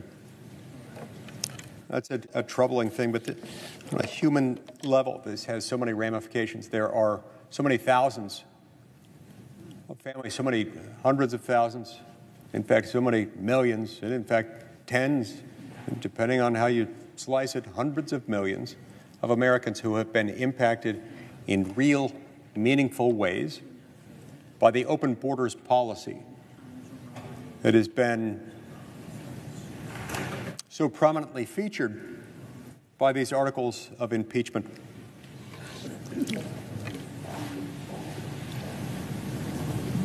Over, uh, over three decades ago, I, I spent two years along the U.S. Mexico border down in the, in the McAllen, Texas region. Served as a missionary, and as a missionary, uh, one lives and works among people of all backgrounds. Uh, we spend a lot of time with, uh, with people of modest means. And in my case, I, I spent most of my time uh, with people of such humble means that uh, of humble means that I'd never quite witnessed in the United States. Things, conditions that I didn't know existed on any widespread basis in the United States, uh, including some people with dirt floors and no indoor plumbing. But in countless cases, those were a little bit more rare, but they, they exist, or at least they existed in the early 1990s. Even though those were more rare, those extreme cases, almost all the people I interacted with on a, day to day basis were people of very humble means. We're living paycheck to paycheck, just trying to get by, and, and many of these people were themselves recent immigrants. Some I suspect were here legally, others I suspect were here illegally. It wasn't, uh, it wasn't standard practice at the time for missionaries talking to people to find out their immigration status. We were there for different reasons. But you get to know people, you get to know their backgrounds, get to know their concerns. One of the things that stands out from my memories of those two years is that I interacted with, as I interacted with these people and learned their customs and learned their language. Um, most of them didn't speak English. Some who didn't speak English had themselves lived in the United States most or all of their lives. In fact, there, were some people, especially in the older, older generations, whose families had been in Texas uh, for a very long time, for generations. And some of those older generations of people were raised speaking largely, if not exclusively, Spanish. But regardless of their immigration background or how, whether their, their family had been in Texas for generations or for only days or weeks, and whether they came legally or illegally. Something I learned about them was that there's no one who fears uncontrolled waves of illegal immigration in quite the same way and to quite the same degree as recent immigrants, especially recent immigrants of humble means living on or near the U.S. Mexico border.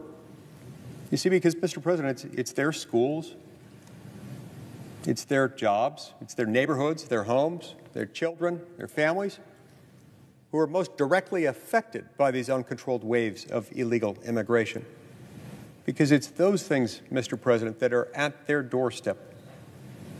They know that every one of those things are placed in grave jeopardy every time the floodgates open and people pour across our border into the United States without legal authority to be here. Every single time that happens, that has adverse consequences. We've talked a lot about the more obvious and the more newsworthy, um, the more news covered implications of open borders with situations like Laken Riley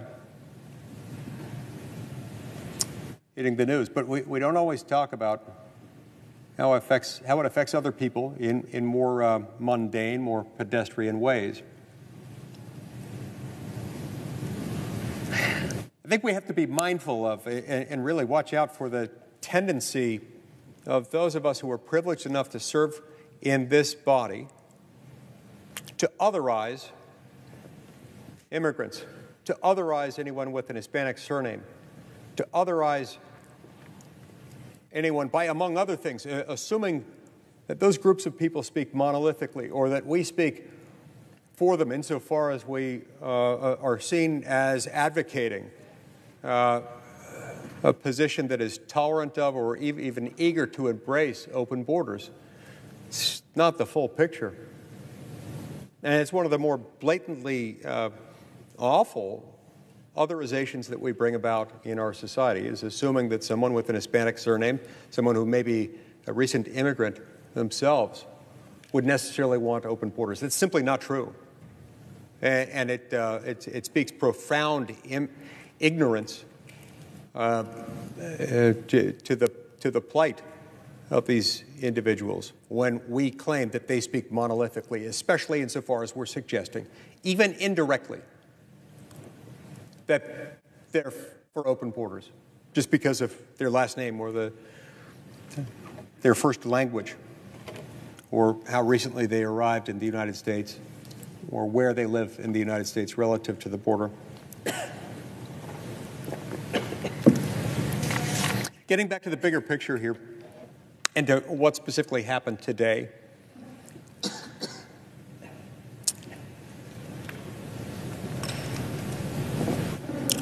When I think about the uh, 13, uh, going on 13 and a half years that I've spent in the United States Senate, I don't think of, I, I don't think I can uh, remember another day when something of such profoundly disastrous consequences was done in this body to shatter norms, rules, precedents, legal traditions, and in this case, constitutional principles, quite like this decision here today did.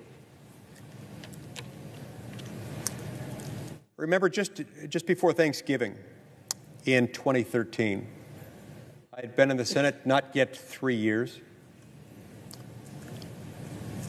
It was just, um, just days before Thanksgiving, just before we, we broke for the Thanksgiving recess when um, a group of my colleagues, all of one particular party, uh, decided to nuke the executive filibuster, decided to break the rules of the Senate in order to change the rules of the Senate, not by changing the rules themselves, because changing the rules themselves takes 67 votes, but instead, by a simple majority vote, they created new precedent to undercut and flip the meaning of one of the Senate rules.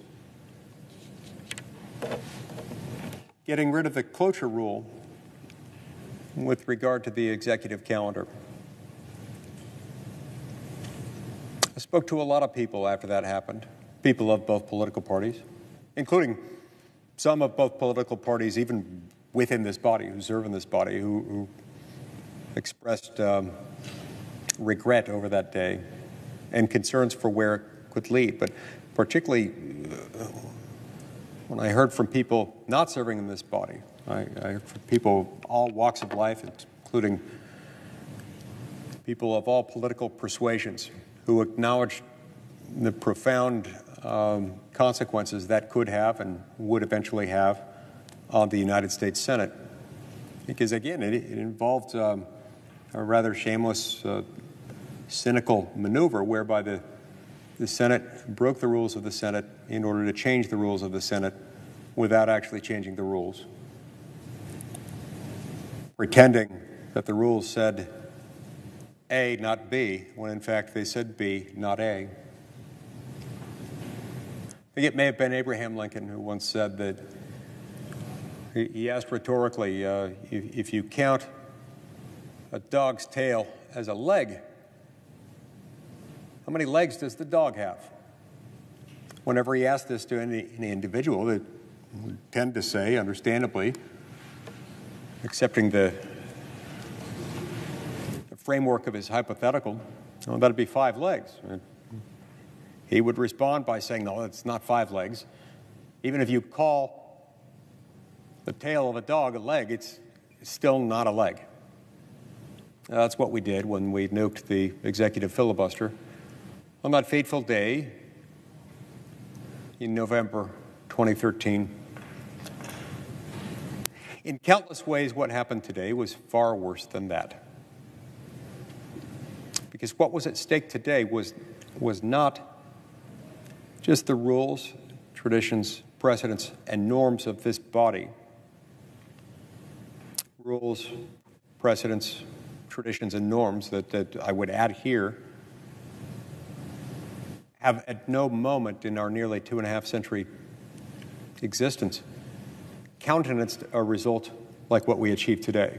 That is to say, we, we, we've never had something like this where we've had articles of impeachment passed by the House of Representatives, transmitted to the United States Senate at a moment when the person impeached was neither dead nor a person who had left the office that that person held, nor a person ineligible for impeachment, meaning a member of the House or Senate.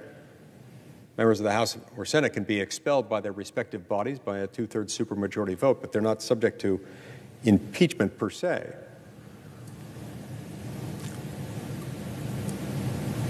If we carve out those narrow, rare exceptions where articles of impeachment have been cast in a way that uh, were, you know, patently wrong, where subject matter jurisdiction in this body was lacking either at the time the articles were passed or between the time they were passed in the House and the time that they arrived in the Senate. We have what I think can fairly be characterized as essentially a, a, perfect record, at least a consistent record, in that we at least held a trial. We at least held the bare bones of a trial in which we had arguments presented by lawyers, uh, uh, at a minimum by uh, lawyers representing the House of Representatives. They're known as impeachment managers, sometimes described colloquially as House prosecutors. We've at least, at least heard arguments by them. And normally that involves a presentation of evidence uh, by them, by the House impeachment managers. Normally it involves uh, both sides having lawyers, not just the House impeachment managers, uh, but also defense counsel representing the impeached individual. And normally there's, there's been evidence presented and arguments made about why the uh, articles of impeachment either were or were not meritorious. And in every one of those circumstances, with the narrow exceptions that I've described as the sole exceptions, there has been at least some finding on at least some uh, uh, uh, of those articles in every single case, culminating in a verdict, a verdict of guilty were not guilty. So that by itself is a, is a precedent and a norm and a custom and a tradition and a set of rules that we've overlooked today and that we've run roughshod right over. But there's something much more at stake, something much more concerning about this that I find so troubling, and that is that, you know, the, under Article 1, Section 3, Clause 6, the Senate's given the sole power, and with it the sacred responsibility and duty, to try all impeachments. Now, as I've just described, in every circumstance where there wasn't some jurisdictional defect, and by that I mean a, a uh, bona fide subject matter jurisdictional defect such that we lacked jurisdiction to move forward, we've proceeded and reached some kind of a verdict in every one of those cases, but not today. You know, uh, Mr. President, I, I, I had been concerned for weeks I'd heard rumors for weeks that what was going to happen today was that the majority leader was going to approach these articles uh, with a certain degree of cavalier indifference and offer up a motion to table. I immediately became convinced after looking at the rules and studying the, uh, the precedent on this that, that a motion to table would be inappropriate here. Be inappropriate because, for the same reasons I've, I've just explained, We've never done that, never done anything close to that. Closest precedent for something like that was so far off course that it, it couldn't even be relied on. I, I recall the, the only precedent that even sounded like the same thing was, in fact, very different from that, in that during the um, trial over the impeachment of President Andrew Johnson, one senator had made a particular motion to do a particular thing during that trial, and another senator later moved to table that motion. There was no motion to table any articles of impeachment.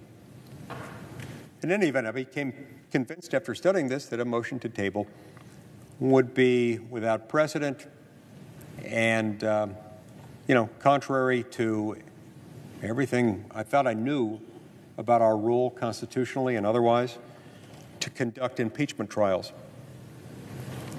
I also became convinced that this would be bad precedent and that it would set a certain precedent suggesting that it's okay if the party occupying the majority position in the United States Senate didn't want to conduct a trial, that it didn't have to. It could just sweep them aside. As I say, channeling the the immortal words of Rush in the song Free Will if you choose not to decide, you still have made a choice. You've made a bad one if you choose to just set aside the impeachment articles without rendering a verdict of guilty or not guilty, whether pursuant to a motion to table or otherwise. And I thought a motion to table would be an especially bad basis. Uh, uh, an especially bad strategy and a bad mode for disposing of and uh, otherwise addressing articles of impeachment. It's important in this context to remember that the United States Senate has exactly three states of being. We exist at any given moment, either in our capacity as legislators in, a, in legislative session Secondly, in executive session, where we consider presidential nominations and also on occasion treaties for ratification. Both executive functions carried out under our executive calendar. Our third state of being, being uh, exists in this context where we are to operate as a court of impeachment It's solely in our capacity as um, senators sitting in a court of impeachment that we're administered a second separate oath, different from the oath that we all take each time we're elected or reelected to the Senate. It's a different capacity, and it's a capacity that requires us to decide the case and, and, and to do so um, on the merits of the case. It's also unique in that it's the only mode in which there is a solid expectation, unblemished until today, in which if we do, in fact, have articles of impeachment over which we have subject matter jurisdiction, and the case hasn't been rendered moot, uh, where there is an expectation backed up by history, tradition, precedent in the text of the Constitution that we will do the job. That, in fact, according to these precedents up until today, that we will reach a verdict of guilty or not guilty by the time that we're done. You see, those things don't exist in the other two states of being. In our legislative calendar, there's no expectation or tradition or precedent or implication from the text of the Constitution that we will affirmatively act upon and ultimately dispose of every piece of legislation presented to the President, to, to, to the United States Senate. We don't do that. We've never taken that approach. But if we did, it would, um, you know, would grind the place to a halt. I, I don't think it would physically be possible. Nor has that ever been the expectation on the executive calendar. Sure, we, we tend eventually to get to most of them, but there is an understanding that unless or until such time as we confirm a particular nominee, that nominee is not confirmed, such that if we get to the end of the road, the end of that Congress, the end even of a, of a session, if that person is to be confirmed, that person is to be renominated first and then considered by the Senate. But even then, there's no guarantee as to any final vote disposing of that nomination.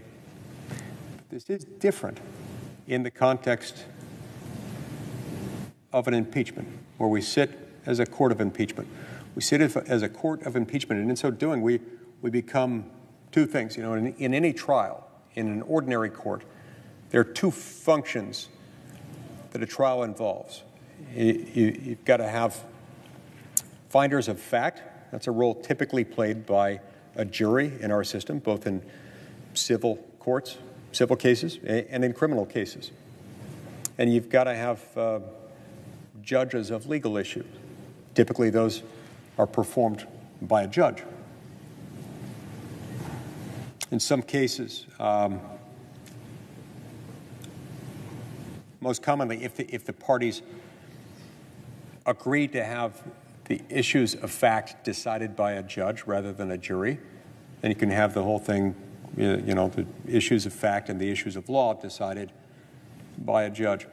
We serve both functions. We're finders of fact and judges of the law relevant to the impeachment case before us. You know, I think, Mr. President, that's the whole reason why we're given a separate oath for that. We don't take a separate oath every time we bring up a bill or every time we get a presidential nomination or every time we're asked to consider a treaty for ratification. But we do take a separate oath every time we receive articles of impeachment. And it's not just because these things are more rare than bills as they're introduced or nominations as they're received or treaties presented to us for potential ratification. It's because it's a, it's a sacred um, responsibility in which there is an expectation backed up by centuries of tradition, custom, precedent, and understanding of our constitutional text that will dispose of the case. We will dispose of it in a way that culminates in a finding of guilty or not guilty, except in these rare instances where we lack subject matter jurisdiction, most commonly because the case has been rendered moot, which it is not in this instance.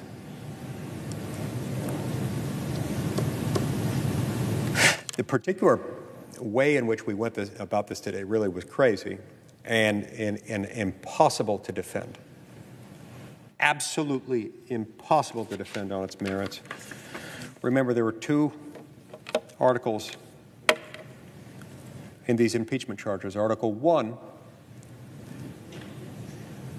alleged that in, um, you know, eight or nine different instances in which Secretary Mayorkas had an affirmative legal duty to detain illegal immigrants pending adjudication of uh, either of their asylum claims or of their, um, their, their, their argument that they might be entitled to some other form of relief, including immigration parole. Secretary of Homeland Security had an affirmative duty to detain them while those decisions were pending. Eight or nine different statutes require that, and eight or nine different statutes he, he deliberately violated. He did the opposite of what the statute required. And by doing that, he invited and facilitated an invasion at our southern border that's unprecedented in American history, that's been dangerous, that's been that's resulted in all kinds of heinous uh, crimes being committed, uh, loss of life, loss of innocence, loss of um, property, many, many harms occurring as a result of this, occurring as a result of his his deliberate decision not only not to do the job he was hired to do and that he swore an oath to perform well, but to do the exact opposite of what the law required. I mentioned a little while ago the writings of Justice Story, Justice Joseph Story, one of our early Supreme Court justices a couple of centuries ago, familiar with the Constitution at a time closer to the founding, and also very familiar with the English legal antecedents on which the Constitution was predicated, with the legal terminology incorporated from English law into the American constitutional system. And in his great uh, treatise on the Constitution in section 798, he um, explained a few things about, about impeachable offenses. And he said in section 798, quote, in examining the parliamentary history of impeachments, it'll be found that many offenses, not easily definable by law, and many of a purely political character, have been deemed high crimes and misdemeanors worthy of this extraordinary remedy, close quote. This extraordinary remedy, of course, referring to impeachment. It then recites a, a, a litany of things that would qualify for this. And again, he, he just noted they don't necessarily have to be um, easily definable by law, and they are of a, of a political nature, but he, he identified some of those things that had been established through English legal precedent, uh, English parliamentary precedent, as worthy of impeachment, qualifying as high crimes and misdemeanors. Among other things, he identified um, what he referred to as attempts to subvert the fundamental laws. Attempts to subvert the fundamental laws. Well, this could have broad application in all sorts of areas, but I, I can think of few laws more fundamental to our republic, to our federal legal system, than our fundamental laws governing who may enter this country and under what circumstances. He went on to um, identify a, a, number of other things that fit this definition, adding to it, um, among other things, by saying um, one thing in particular that, that would meet the definition of high crimes and misdemeanors and would thus be impeachable would be an instance in, in which, quote, a Lord Admiral may have neglected the safeguard of the sea. Some on the other side of the aisle have argued that, well, really, what Secretary Mayorkas did was to just not do as good of a job as he should have and could have in enforcing the law. And that can't be a basis for impeachment, they argue. Some of them will invoke a line of reasoning that says um, maladministration, in other words, not doing your job well, isn't a valid basis for an impeachable offense. I'm not at all sure that that argument, even stated in the abstract, is, is, is accurate. In fact, I, I tend to think that it's not because the Constitution itself assigns that job to this branch of government, to the House, as it assesses whether to charge something as impeachable, and to the Senate, as it assesses whether an impeachment passed and presented by the House warrants conviction, removal from office. That really is, is our job, and as Justice Story noted, it's a, of a, it includes offenses of a political character, regardless of whether they would amount to independently prosecutable criminal offenses in a, in a, um, a criminal court of law sense of that word. But in any event, this is, even if you buy into that reasoning, there, there, there are those scholars who, who believe that. I, I seem to recall uh, Professor Alan Dershowitz, uh, respected uh, Harvard Law professor, from whom we've heard in past impeachment proceedings. I, I, I believe uh, he believes in this approach. But even under Professor Dershowitz's approach, he's, he's someone uh, for whom I have great respect, even where I disagree with him.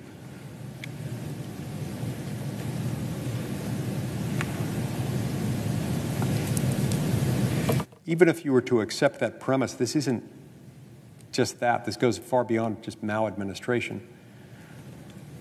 It's not just that Secretary Mayorkas didn't do a, as good of a job as he could have and should have, and we wish he would have. It's that he, he willfully subverted what the law required and, and did the exact opposite of what the law required. That's impeachable. It's got to be impeachable. And, and yet, uh, the majority leader stood up today and he, and he said, I raise a point of order that impeachment Article 1, again, impeachment Article 1 is the part that deals with Secretary Mayorkas's decision to do the exact opposite of what the law requires. Majority Leader continued, uh, you know, impeachment Article 1 does not allege conduct that rises to the level of a high crime or misdemeanor as required under Article 2, Section 4 of the United States Constitution and is therefore unconstitutional. I, I, I, I really, um, I don't know how he gets there. They can't get there except by sheer force, and the way you do something by sheer force here is you produce a simple majority of votes from senators declaring the impeachment equivalent of uh, defining a, the tail of a dog to be a leg. What I found even more stunning was when, um, as stunning as that first move was, and as disappointing as it was that a simple majority of United States senators, all from the same political party, uh, I would add, not my own. He somehow managed to outdo that one by later making the same point of order with respect to Article 2, arguing that, uh, you know, he, he said, quote, I raise a point of order that impeachment Article 2 does not allege conduct that arises that rises to the level of a high crime or misdemeanor as required under Article 2, Section 4 of the United States Constitution and is therefore unconstitutional. Let's remember what Article 2 was about. Article 2 charged Secretary Mayorkas with making, knowingly making false statements to Congress. as Congress was carrying out its, its oversight responsibilities, with him testifying often under oath to Congress. Now, unfortunately, we, we never got to hear any evidence on this. Therefore, we weren't presented with the opportunity to make a final determination on this. But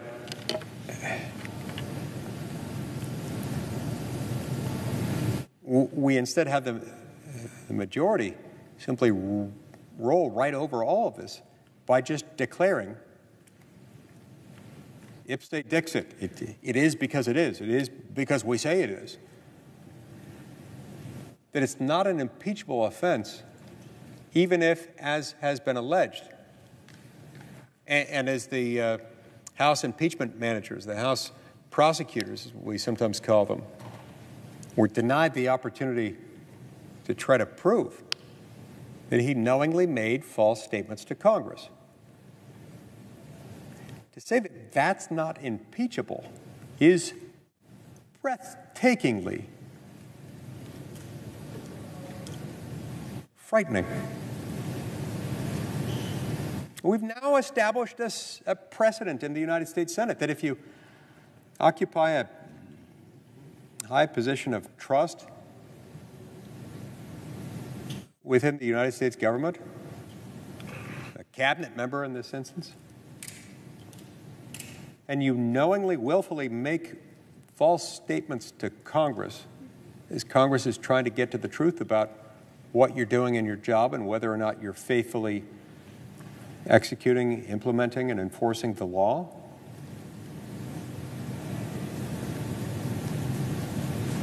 That lying to Congress in that sense, even under oath,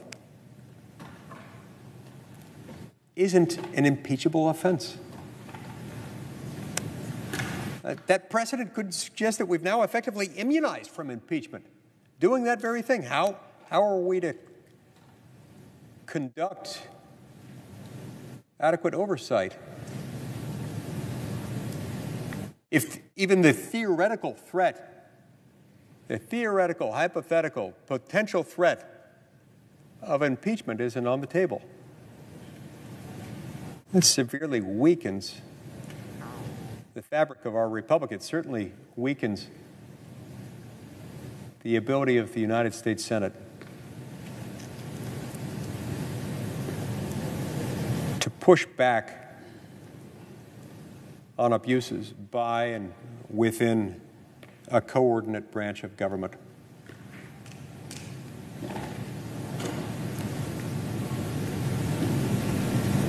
You know, when James Madison uh, expressed in the Federalist Papers, uh, uh, among other places in Federalist 51, that government was is sort of a, an experiment. It's, a, it's an exhibit. It's a, it's a display of human nature. There and in other Federalist papers, he explains things like the fact that, uh, it, it, as he continued in Federalist 51, that if, if, if we as human beings were angels, we wouldn't need government. If we had access to angels to run our government, we wouldn't need all these rules to govern those responsible for government. But alas, we're not angels. We don't have access to angels to run our government, so we need rules. Madison was also a big believer in the fact that because we're not angels, we don't have access to angels to run our government, and we do need these rules. You've got to set up a system in which power can be made to check power.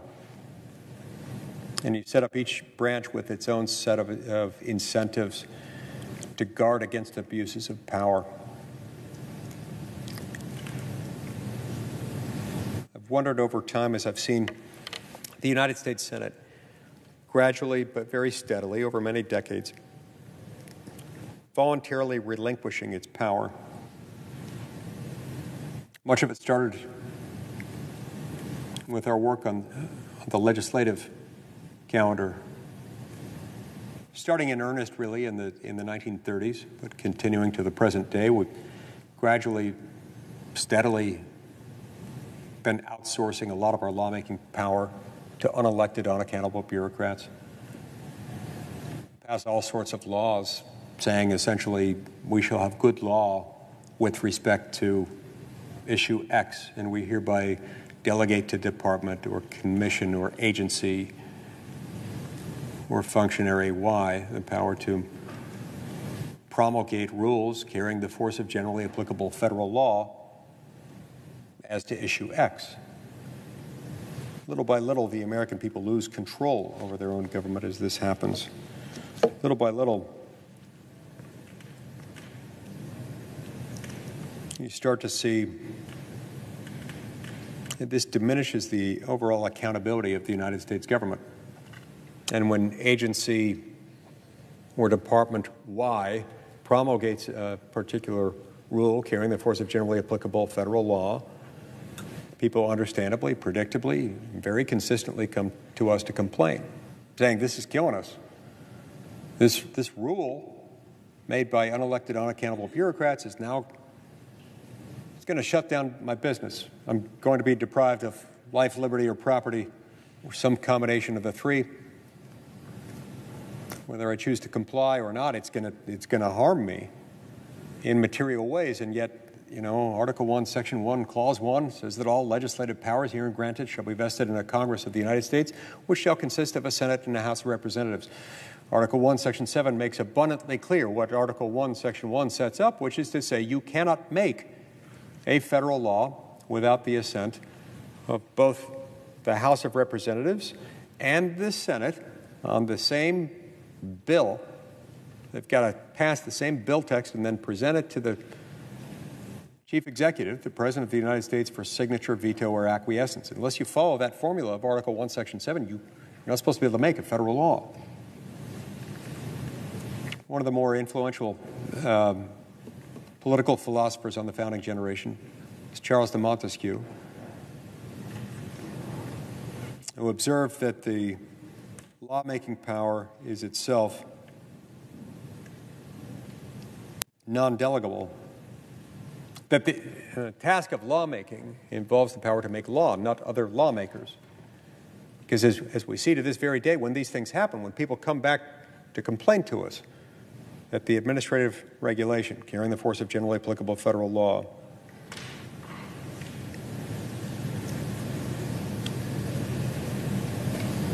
when it causes problems, people come and complain to us, and then members of Congress predictably and foreseeably beat their chests and they say, oh, yes, those barbarians over at agency, commission, department Why?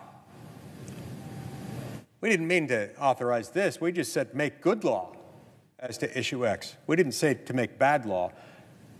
And then, predictably, the senators, the representatives say something like the following You, uh, you know what I'm going to do for you, constituent? I'm going to write them a harshly worded letter. That's what I'm going to do. As if that were our job, we were sworn in to do, was, were to write harshly worded letters. It's not that, of course. It's to make laws, not other lawmakers. You know, I keep these two stacks of documents behind my desk. One stack is small, it's usually a few inches, no more than a foot or so. Consists of the laws passed by Congress in the preceding year. It's just a, you know, a few thousand pages long. The other stack is 13 feet tall, during a typical year, it'll reach about 100,000 pages stacked up even on very thin paper, double sided, small print, about 13 feet tall. Consists of last year's Federal Register, the annual cumulative index of these federal regulations as they're promulgated, as they're initially released for notice and comment, and later as they're finalized. Those rules carry the force of generally applicable federal law. Failure to abide by those can shut down your business, can result in enormous fines. In many cases, can result in your imprisonment if you don't follow them. And yet, they are not enacted themselves through the formula prescribed by Article 1, Section 7. No, because in that instance, we've authorized the making not of laws, but of other lawmakers, not ourselves. And those other lawmakers to whom we've given this assignment, while perhaps, however well educated and well intentioned, wise, specialized, well trained they might be, they don't stand accountable to the American people ever. Their name will never appear on a ballot. In fact, their name will stand essentially as a secret to nearly every American, including those who will stand accountable to those laws, who may lose life, liberty, and property as a result of those things.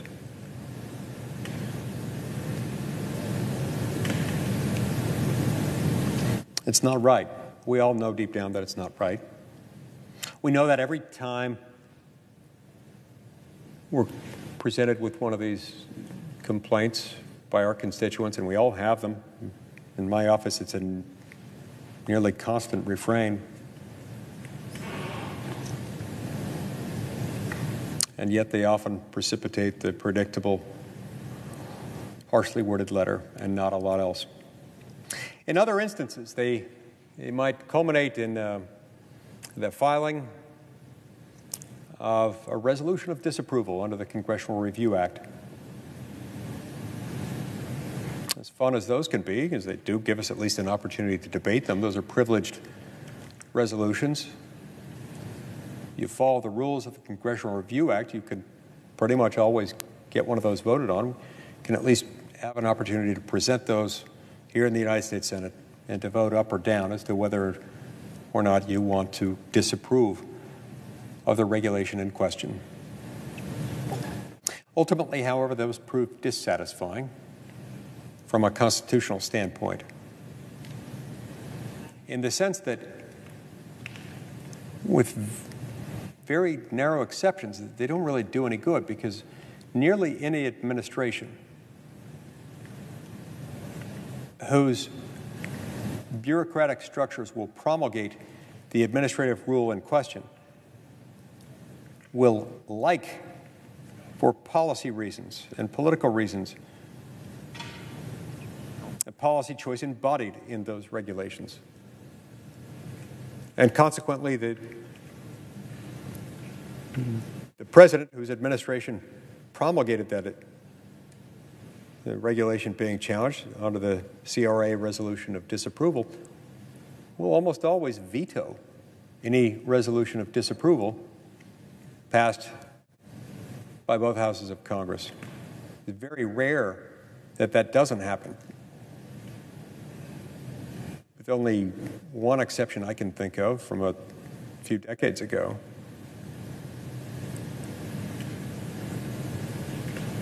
The only time that works, other than that one exception that I'm thinking of, occurs when you've got a holdover, when you've got a new administration and you've got regulations that have been promulgated toward the tail end of the previous administration. We had a number of those when President Trump took office.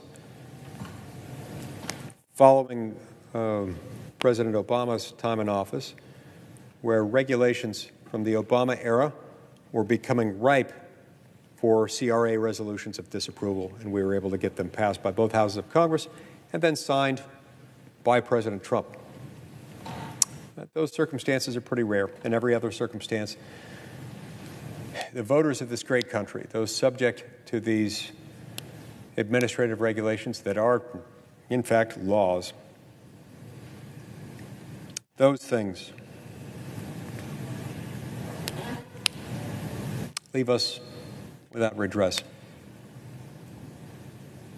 It's one of the reasons why I've long advocated for us uh, to pass a, a, measure called the REINS Act. If a genie appeared to me and said you can pass any one bill now pending in front of the United States Congress, it'd be the REINS Act. Why? Well, because the REINS Act would require us by statute to do what I believe the Constitution already requires, what it in fact does contemplate, uh, which is that it's fine for uh, administrative regulations to be promulgated, to be proposed, but unless or until they're affirmatively enacted into law by both houses of Congress and then signed into law or acquiesced to by the sitting president, or in the event of a veto, um, uh, that veto is overridden by two thirds of both houses of Congress, then it can take effect. But short of that, no dice.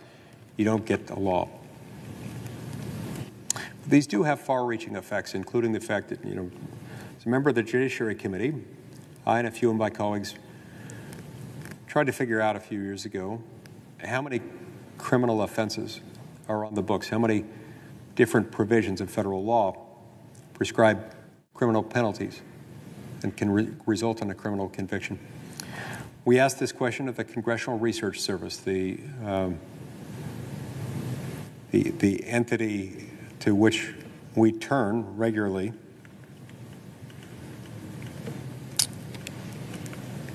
In order to get answers to questions like those. The answer came back to us in a way that I found absolutely stunning. The answer that came back to us from the Congressional Research Service, very talented people at the Congressional Service who, who were very good at answering these questions, they did a good job doing it, and it, uh, I'm convinced they gave us the answer that was possible to achieve. They said the answer is unknown and unknowable, but we know that it stands at at least 300,000 separate, separately defined criminal offenses on the books. Now, this does not mean that on 300,000 plus occasions, both houses of Congress passed into law a separate statute defining a criminal offense with criminal penalties. No, in many, many of these instances, one of the reasons why the number is so difficult to tie down is because a lot of these are defined administratively. So that's one area in which the United States Senate has been deliberately um, uh, shirking its responsibilities and handing them off to somebody else, refusing to do the job that we've been given to do. We've also, so that was on the legislative calendar. We've done that time and time again, also on the executive calendar, where we've changed the law so as to limit, changed the law, or in some cases adopted standing orders that have been embraced in subsequent iterations of the Senate, limiting the number of presidential nominees requiring confirmation. So we've narrowed our playing field there too, shirking our responsibility, even as the size of the federal government has increased inexorably. We've narrowed our job. And now we've seen it done again today in our third state of being, in our third category, where we operate as a court of impeachment, where even here, where our job is really limited, we have one job in this area to conduct impeachment trials.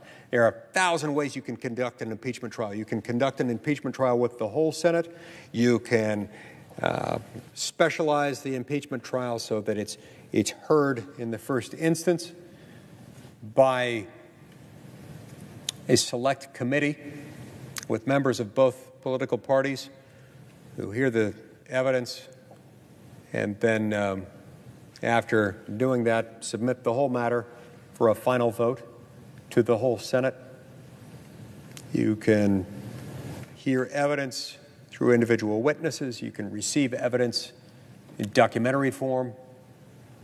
There are a thousand different ways to conduct a trial, some of which allow the trial to be conducted pretty quickly, others uh, might take more time, but there are a thousand ways we can do it. And here as with the other two states of being, first on the legislative calendar, then on the executive calendar. Now,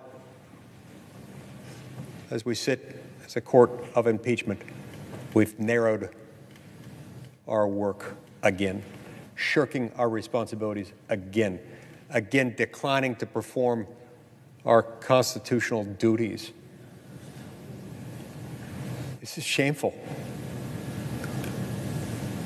I'm embarrassed that we as a Senate seem so enamored with the idea that um,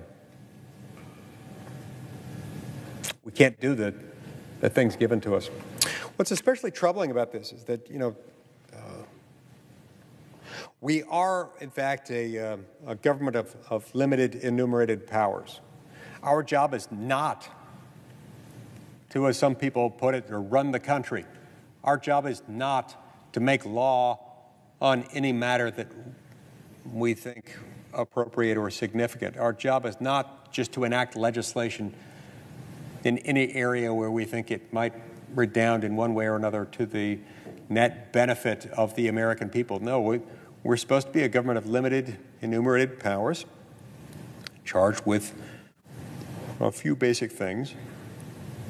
We're in charge of uniform system of weights and measures, a system of immigration and nationality laws, regulating trade or commerce between the several states with foreign nations and with Indian tribes. We're in charge of declaring war, establishing and regulating an army and a navy, coming up with rules governing state militias, which we now describe, uh, refer to as National Guard, coining money, regulating the value thereof, coming up with bankruptcy laws, postal roads, post offices, regulating, um, in some instances, um, federal land to be used for some military purpose, regulating what we now call the District of Columbia, adopting rules governing the disposal, the regulation and uh, disposal of territory and, and, other property owned by the United States. Then there's my, one of my favorite powers of Congress involves granting letters of marque and reprisal. Marque, in this instance, spelled M A R Q U E. We haven't done one of those in over a century. I hope we will sometime. I think we should. Letter of marque and reprisal is basically a hall pass issued by Congress that allows those acting pursuant to it to engage in acts of piracy on the high seas with the impunity offered by the United States if they're able to make it back with whatever loot they take into the United States, and then divide the spoils and share the spoils with the United States government. That's about it. And there, there, are a few other powers of Congress here and there, but that, that's the lion's share of what the federal government can do. And of course, we occupy the most significant, prominent, dominant, and dangerous power within that because we're the lawmaking branch. We make the laws, the executive branch enforces the laws we make, deferring to our policies and enforcing the policies that we enact.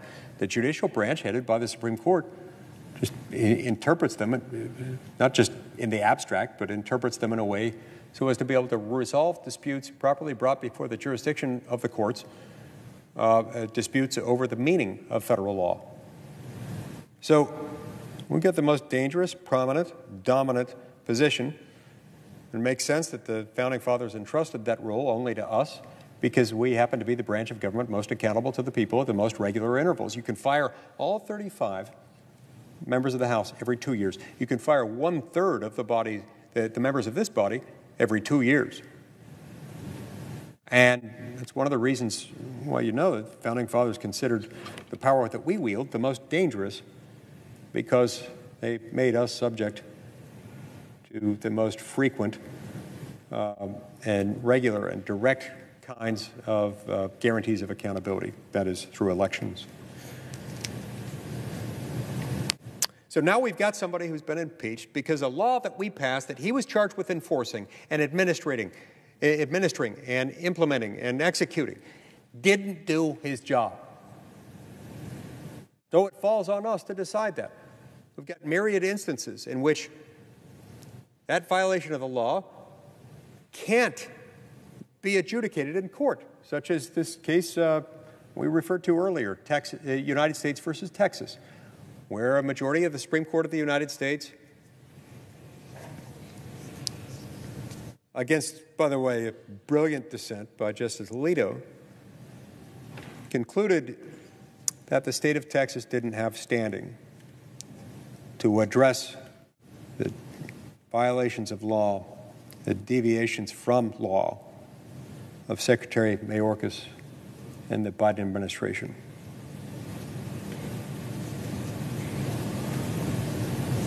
We, if not us, who? In countless instances, the courts can't do it. The executive branch isn't going to check the executive branch. The buck stops with us. It's our job to do this. And today we failed. We didn't just fail in the sense that we tried to do it and we didn't. We, the majority of us, unfortunately, tried not to, went out of our way to define our role as something that it's not, to define the law as saying something other than what it in fact says. so that we can shirk our responsibilities yet again. Shame on us, shame on those members of this body who voted to do that today. I wonder what future generations will say about this. I wonder how many ways in which future generations will suffer from what we did today. I hope to shout that they'll take this as a lesson in what not to do and soon depart from this awful precedent, because otherwise this will lead to the shedding of tears and worse.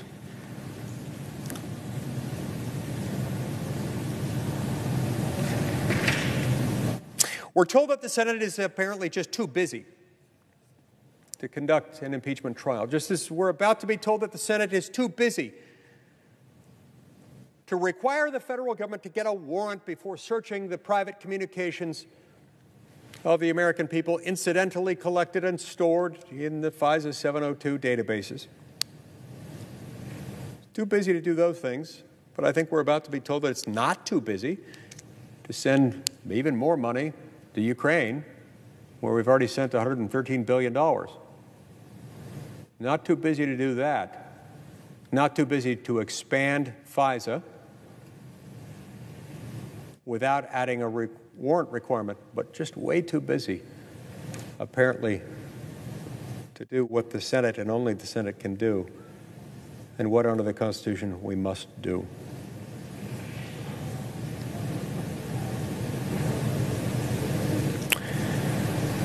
Madam President,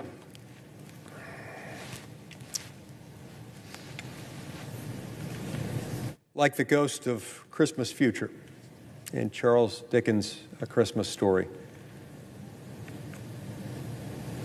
I hope that as we examine our future and, and what today's action portends, portends about the future of the United States and of the United States Senate, I hope we can choose to depart from this course. While I fear that our past will prove to be our prologue, I sure hope we won't solidify and more deeply entrench this unwise, indefensible move that we took today.